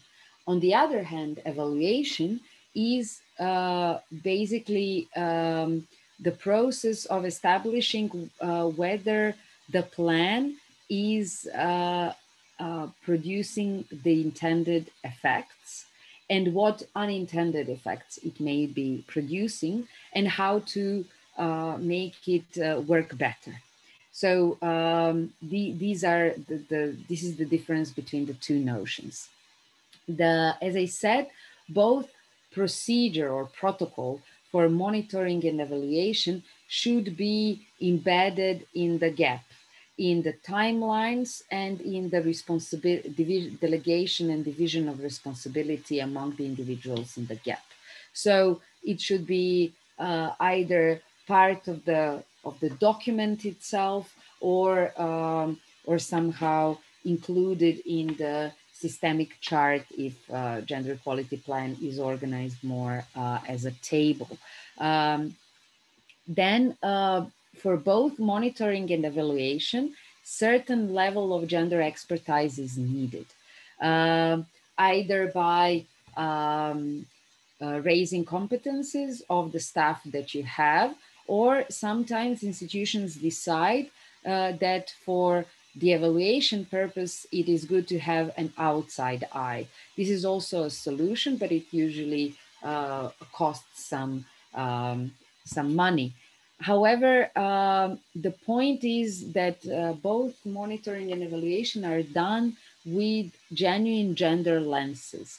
So it's um, the, the person who is, or the team who is uh, doing uh, monitoring and evaluation should not be satisfied just by uh, gender equality plan meeting uh, its uh, goals or meeting its uh, concrete objectives, but it rather should be measured with, with eyes of an expert who is thinking whether we are uh, by reaching concrete objective, whether we are reaching an overarching goal of um, uh, um, uh, raising a level of gender equality. Um, both monitoring and evaluation should be connected with uh, step two, and that is with baseline analysis of the institution. Uh, as I mentioned before, if you are conducting a survey as a preparatory activity for gender equality plan, then you should have the same type of questions included in the monitoring, uh, in the evaluation process. Uh, so you can compare the answers, for instance, before and three years or five years after. So um, even though evaluation comes at the end of uh, time scope of uh, gender equality plan, it should be uh, think thought of at the very beginning of um, uh, of creating GEP. Um, and um, basically, monitoring and evaluation means that we establish indicators, targets, and follow-up instruments through which we will um, measure um, uh, whether the, the objective has been met uh, and um, through which we will um, help this transformation of GEP from ad hoc to institutionalized set of measures. Uh, the gender equality structures uh, that are created uh, uh, within, so through creation of gender equality plan and its implementation, in a way you're building uh, a new structure or modifying already existing structure in the uh, in, within the institution. As I mentioned at the beginning, it's it's like creating a small community of practice within the institution itself. and uh, this uh, group of people and knowledge they are sharing and exchanging is is the pool the, the resource of for both monitoring and evaluation. The point is not to hire just somebody from outside to tell us whether we did a good work but to embed activities that are constantly checking whether we are doing a good work into the regular organizational practices of the institution. so uh, I think I already explained what monitoring is. Um, so monitoring is also a good way to identify uh, potential sources of resistance, especially if they are a silent one. When we have uh, people within the institution who are uh, vocally opposing um, certain measures uh, or the whole gender equality principle or gender theory as the conservatives uh, likes to refer to them. This is something that can be tackled in one way but it is completely different thing when you have a subtle silent resistance. Uh, a sabotage within the institution uh, through neglect or lack of care or uh, lack of commitment so the monitoring of activities and uh, then will enable you to uh, recognize which activities are not moving uh, in the intended pace. Uh, by so not moving fast enough or fast as planned and then this information is uh, the information that you get through monitoring by checking and then figuring out that uh, there is a, a stalemate in a change process, it gives you double information. One is uh, that um, maybe you uh, set the, the bar too high. Maybe uh, the target should be changed and transformed.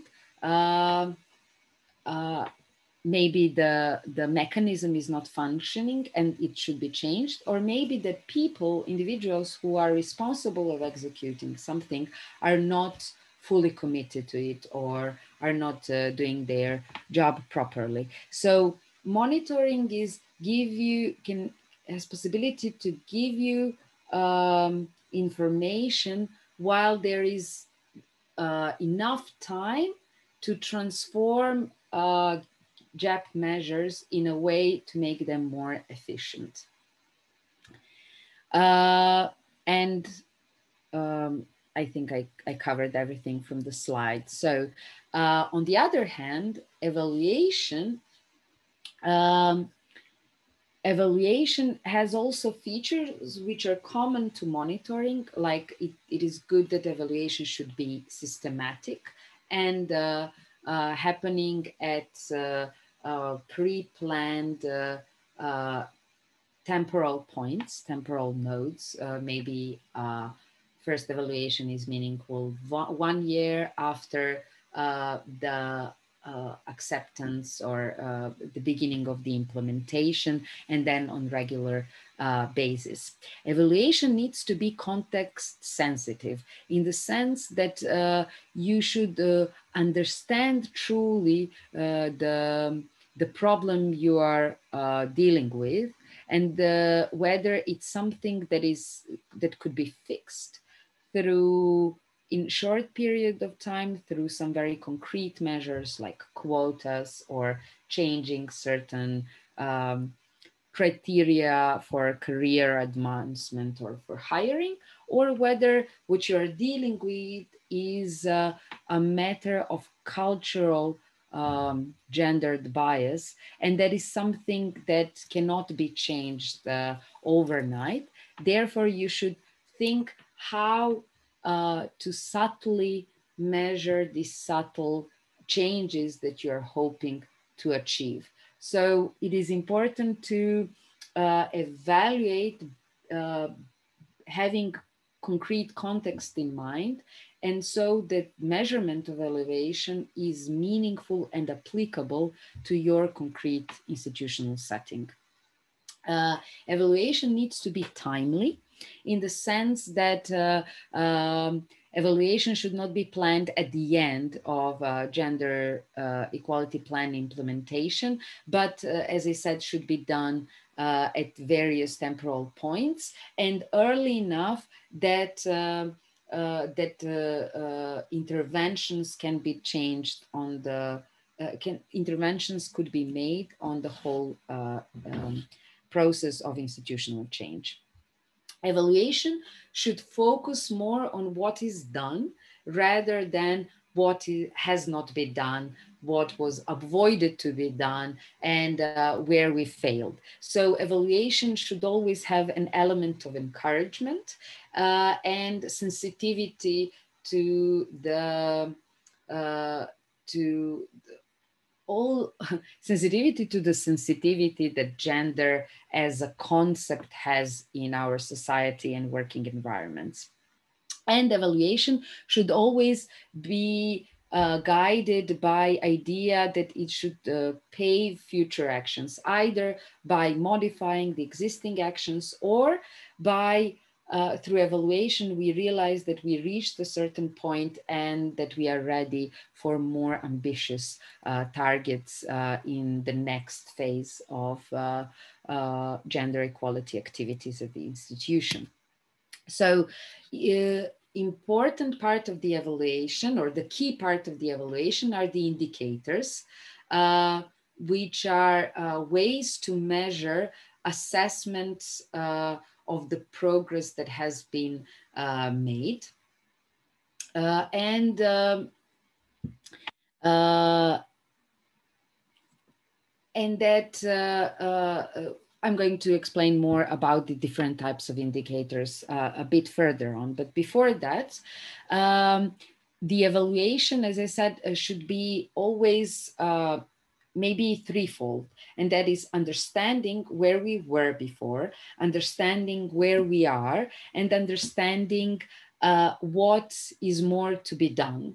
Uh, and of course, then uh, what is a suitable um, measure or a solution to the challenge that it still lays uh, ahead of us.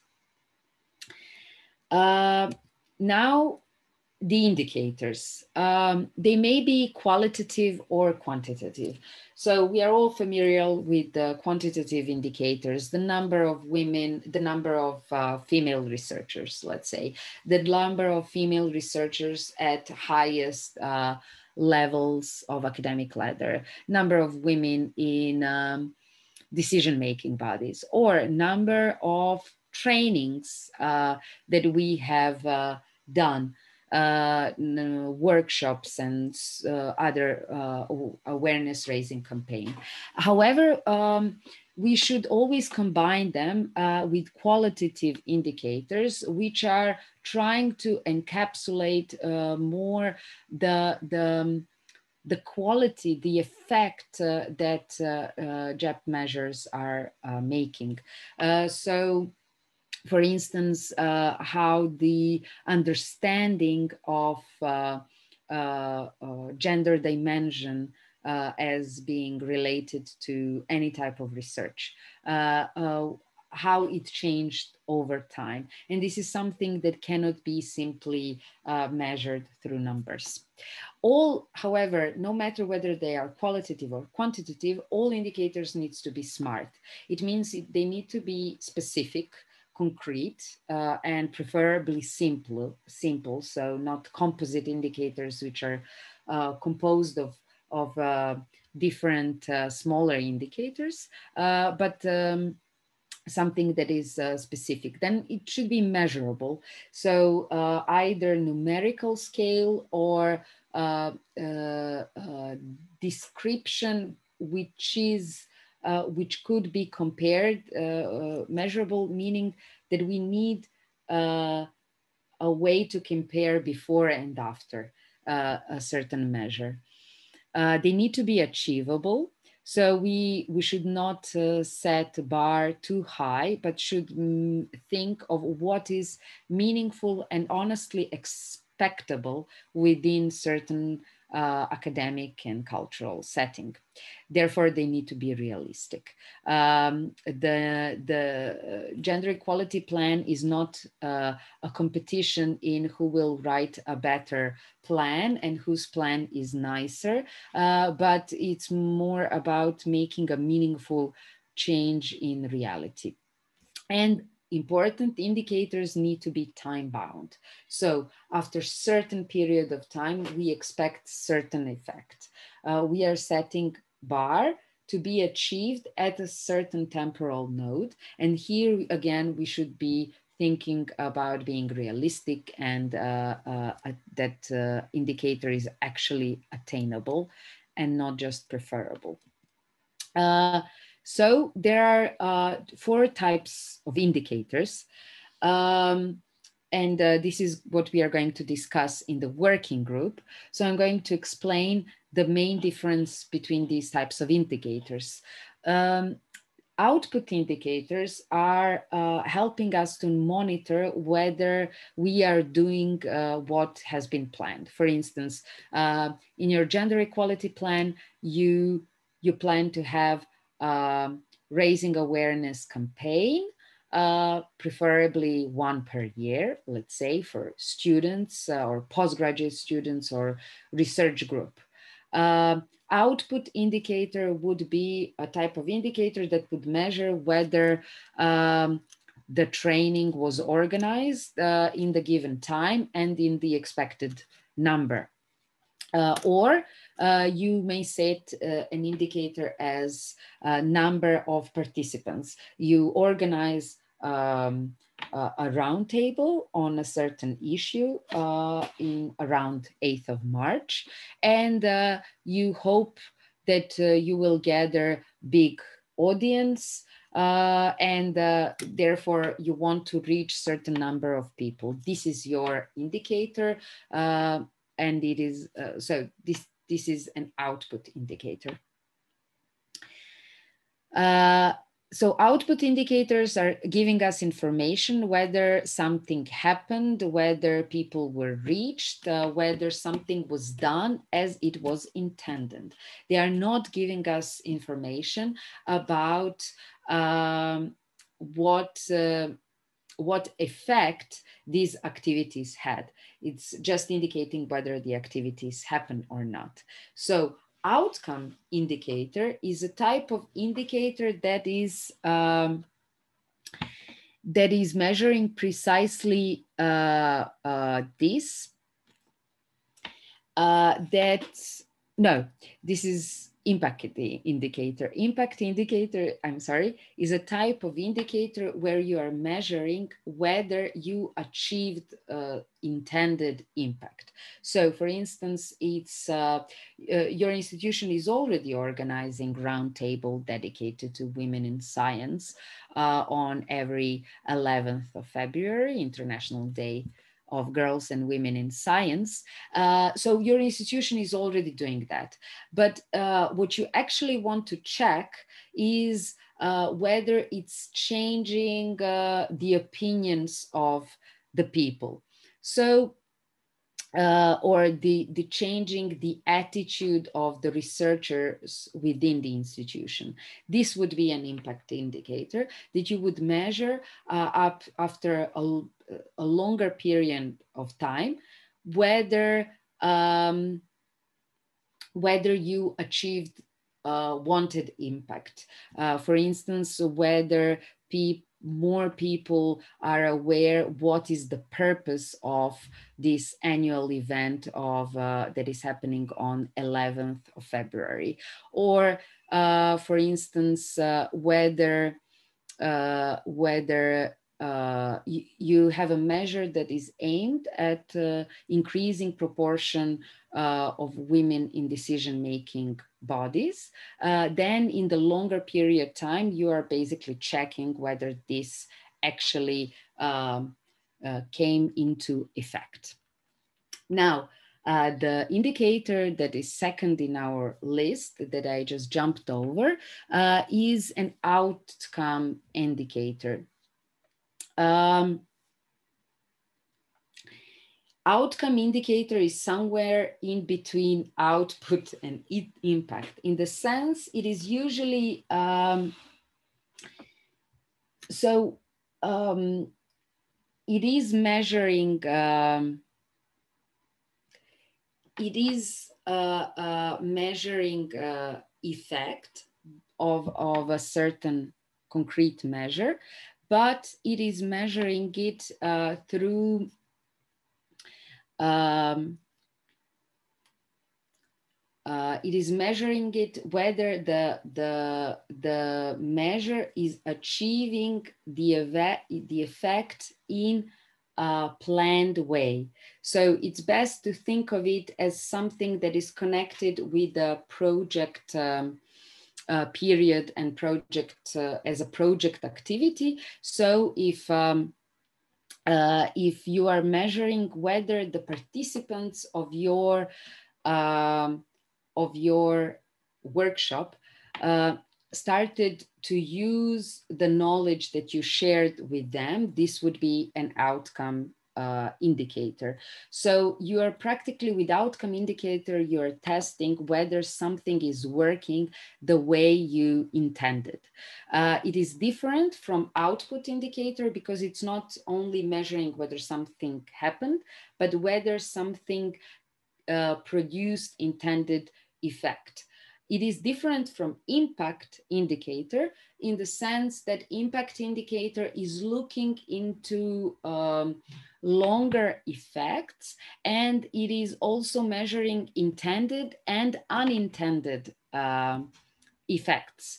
Uh, of a certain measure. So sometimes a certain gender equality measure may be met with a huge opposition, uh, conservative backlash, and would actually um, uh, create uh, unwanted um, unwanted outcome uh, and uh, this is something you can measure with impact indicator but is not something that an outcome indicator would uh, measure because outcome indicator is focused on measuring the intended not unintended uh, results and finally, process indicators are used when you want to measure a process uh, or activities.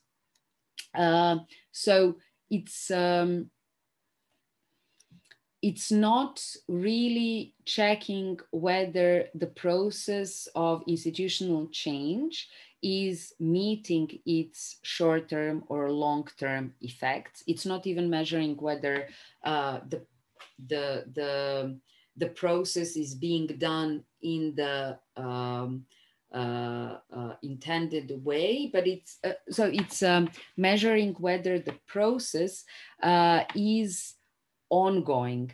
And this is also important for the kind of measures uh, where the path is the aim. So for instance, if in your gender equality plan, institution is planning to establish gender equality office or an off or a position of gender equality officer, a position that did not exist before. Uh, easiest way to measure this activity is to make it into output indicator, uh, office established, office not established. This would be one way. However, if you really are interested in making this office sustainable and genuine part of the institution, it would be more meaningful to divide this measure, this activity into various steps of, for instance, um, uh, building capacity of the employees which are already employed, um, changing regulations needed, uh, internal regulations of the institution in order to establish a new office. Uh, making the whole hiring process, if you're hiring a new person, then uh, informing employees that this new office is uh, established and is at their disposal. So each of these steps could be measured as output indicators, but if we look at it as one measure, establishing gender equality office, we can uh, try to find a way, for instance, through steps to measure whether the process is unfolding in its uh, in the pace that we and in the way that we intended. Now, uh, we are, uh, I, I, just would like to share with you that since issue of indicators tend to be very challenging for uh, GEP implementators, um, there is, uh, there are lots of useful tools and I'm just giving you here information about one that to me seems to me most practical. Uh, but I'm sure that uh, on GEAR tool that we a link that we shared beforehand, you can find uh, maybe indicate uh, um, uh, materials that are, uh, could be more useful to the indicators that are applicable to your particular case. Now let's go to the group work. So now let's go to the final step of our um, uh, GEP circle, and that is sustainability. And I'm giving floor to Lorena. Yeah, okay. So last, last step. I hope you're all doing fine. We are all tired, but let's go quickly through this step because it's really an important one. Okay, we were going to focus on step three, four, and five, so we won't have much time uh, and we won't be able to do any activity um, regarding this one, but we had to choose. However, this is a really important uh, step of the process. We need to think about sustainability since the very beginning of the of the structural change process. Okay. Um, so, what are the key uh, sustainability drivers when we strive for sustainability? Okay, the key aspects. Um, the first one we need to manage our efforts and our energy. And this is really crucial for sustainability.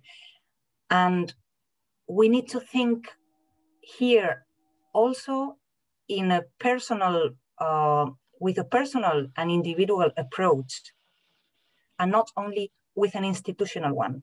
Because what happens here is that normally we are so much committed with the institution and with going ahead with the gender equality plan that we really put all our efforts and all our energies.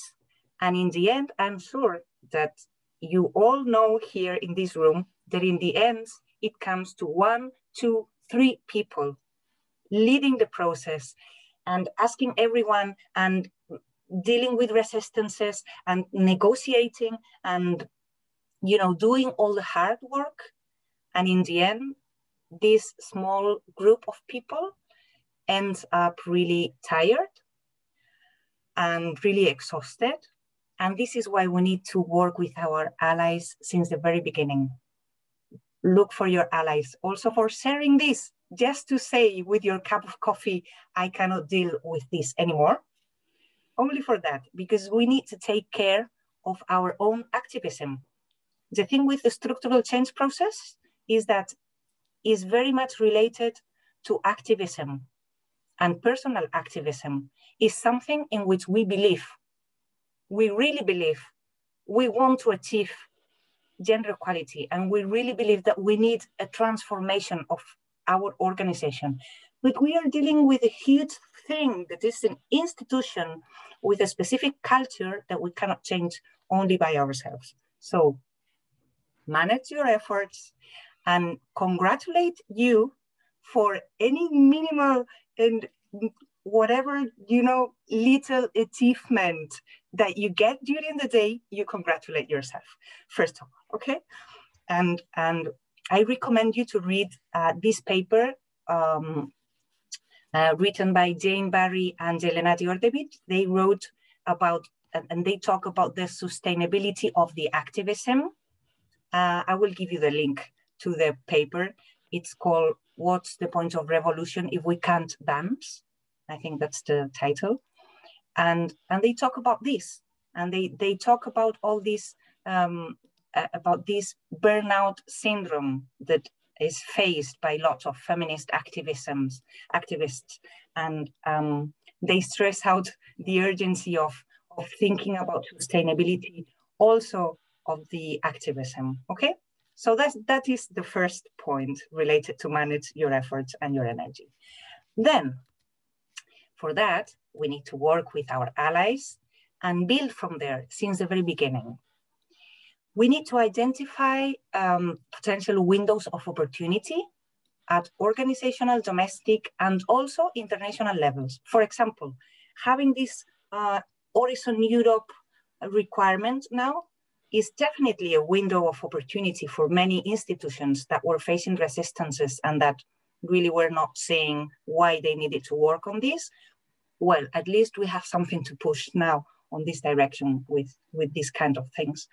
And also, as we saw, sometimes risks and, and resistances can be turned into opportunities, as you showed in the, in the exercise before. No? Uh, then we need to embed the planned actions into the standard frameworks of the and procedures of the institution for the sake of sustainability. Okay, this is something. This is also an example that uh, we saw just in the exercise before. This thing of has this activity become part of the permanent plan uh, or program, training program of the institution? It is embedded, it is institutionalized. Okay, things like that. Next, please. Mm -hmm. Just a second. Okay, there. Flexibility and resilience are uh, really important we know that things will be changing along the way um, and we need to to adapt all the time we need to be adapting to the changes in the context and also changes in the priorities which of course you know also what i'm talking about probably with all this covid crisis many gender equality actions were totally you know suddenly cancelled or uh, they got directly out of the agenda just because the new priority is the COVID crisis. And then now we are learning that, wow, the COVID crisis really had a, a gender impact in our institutions. It really had a gender impact. So we need to be uh, uh, aware of these windows of opportunity and and knowing, you know, linking all these things to to be of course, to be flexible and adapt to the new agendas, but also to, to, to see the windows of opportunity and try to push for it at all times. So we're going to be um, uh, not only to be flexible, but only to be resilient because many times we're not going to get it. So just go ahead, look for your allies again. Then, of course, I context specificity, uh, context specificity. We are clear uh, about that. We know there is no one size fits all solution. We get inspiration, but we always need to adapt to our context. Um, that's a clear one. Then make change visible. This is uh, also key for sustainability. Transparency is key for sustainability. And um, I cannot think in English anymore. Rendición de cuentas. Oh my God. Accountability. I'm sorry. Accountability is really important also, and is very much related with making uh, change uh, visible. But also, it has to deal with other intangible aspects. And those intangible aspects are crucial for the, for the process. For example, motivation, So we are saying we have a gender equality plan, we are going to do this and we want to achieve that. And if we are achieving that, we need to make it visible with a positive narrative, with a positive speech, and congratulating ourselves again, and helping the people to get motivated and implicated in, in, in continuing with that. We need to say, hey, it is possible, okay?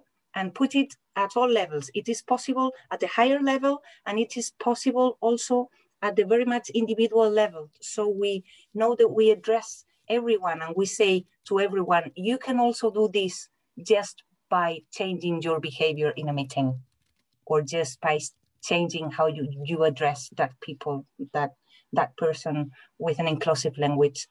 So we need to make it visible for all the levels of the institution, how we are making change actually happening, okay?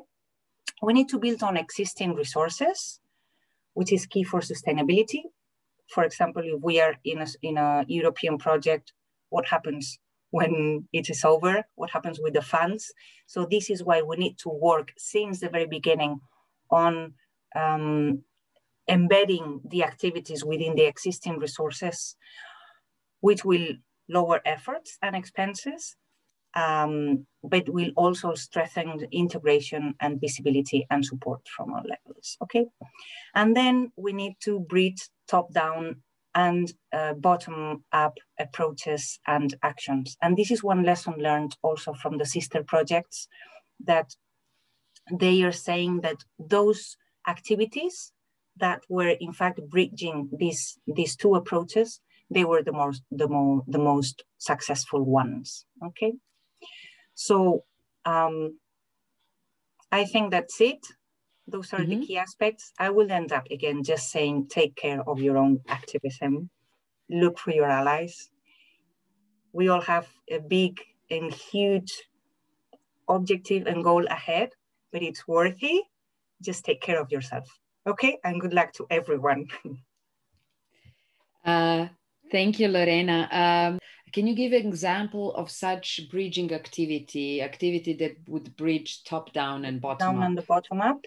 Mm-hmm. Um, activities that uh, in which we just mix for activity during the whole process is not only an activity that we put in the gender equality plan, but for example, if in the step two, when we need to do the analysis and the gender assessment, if we implicate uh, the top level with the mid-level and the students or the lower level, it's not nice to say that the students are the lower level, but in fact they are in many universities. Sorry to use this language, but we need to, if we uh, manage to do assessment activities that will join together these groups for assessing their own reality, where they can reflect with each other and where they can listen to each other, where students say, for me, the main problem at the institution is this one, and then the top management say, what? I never thought about that.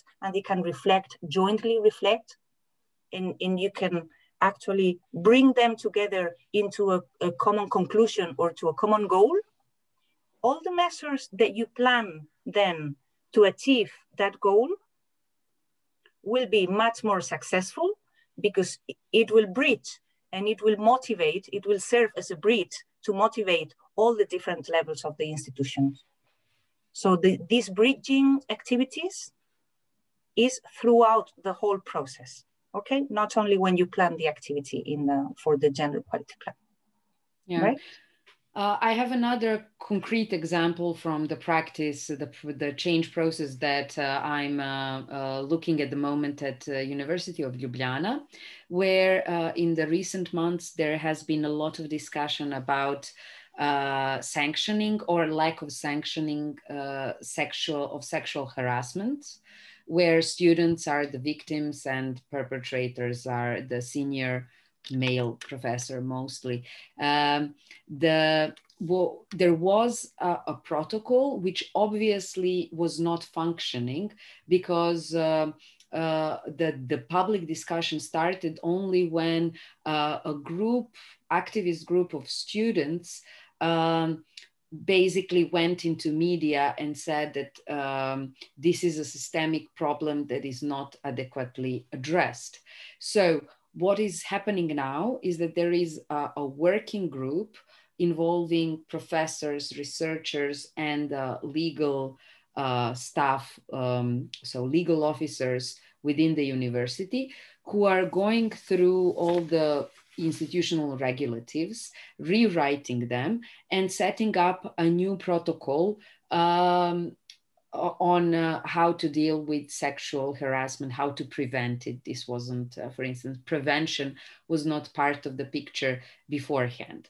And basically, what what um, what is a new thing, and it is enabled by this uh, general process uh, that was started with GEP uh, within the university, was that. Um, not only formal student representatives, but different student groups, including these informal groups of female students who went to media and started public discussion.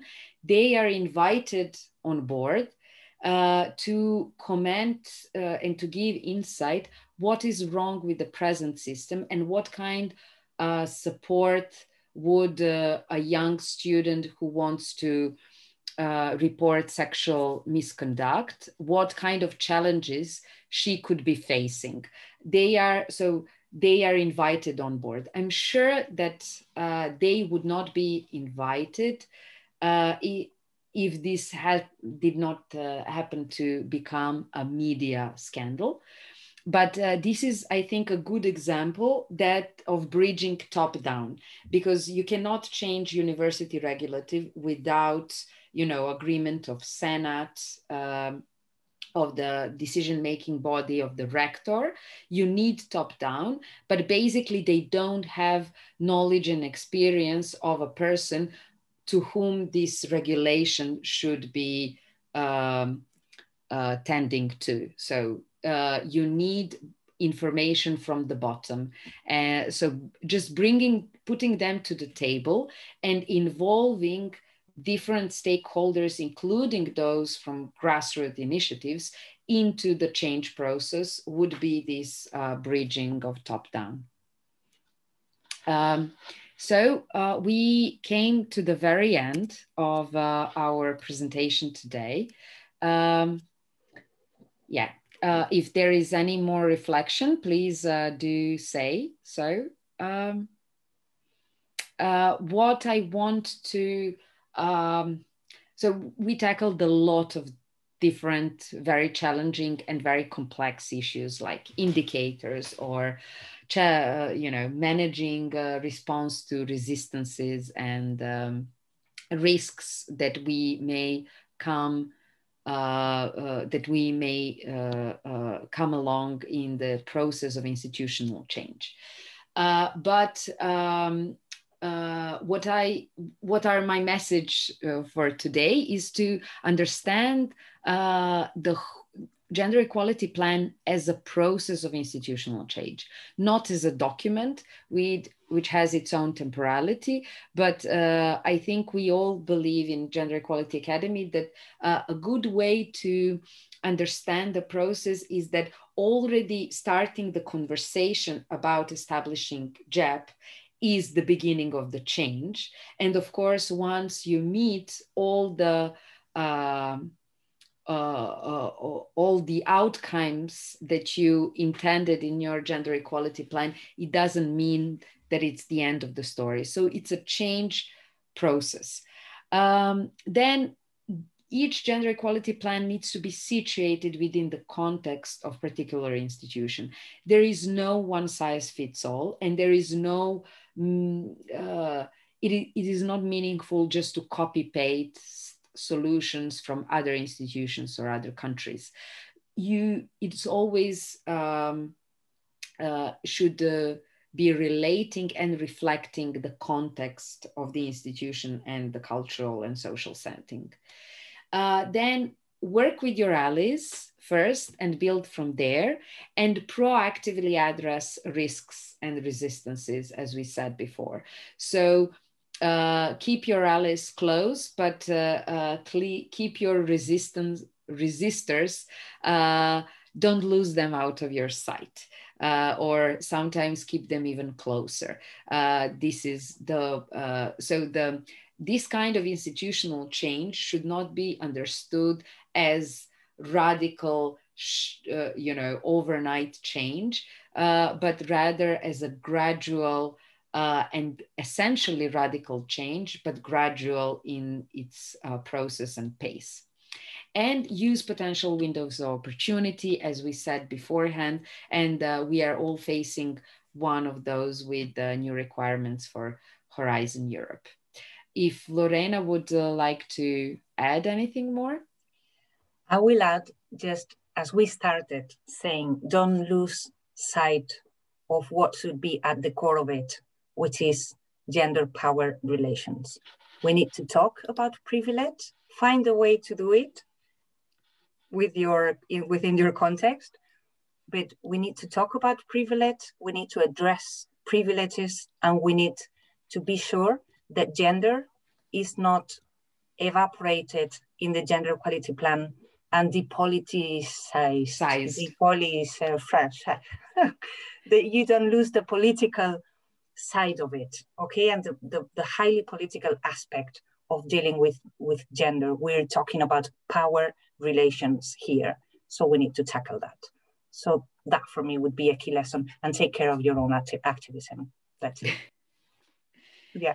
Thank you for these inspiring uh, two, two, last points. Uh, I will be uh, now posting uh, uh, ex exit questionnaire, which I uh, really would like to ask you to fill in now and not leave it for later.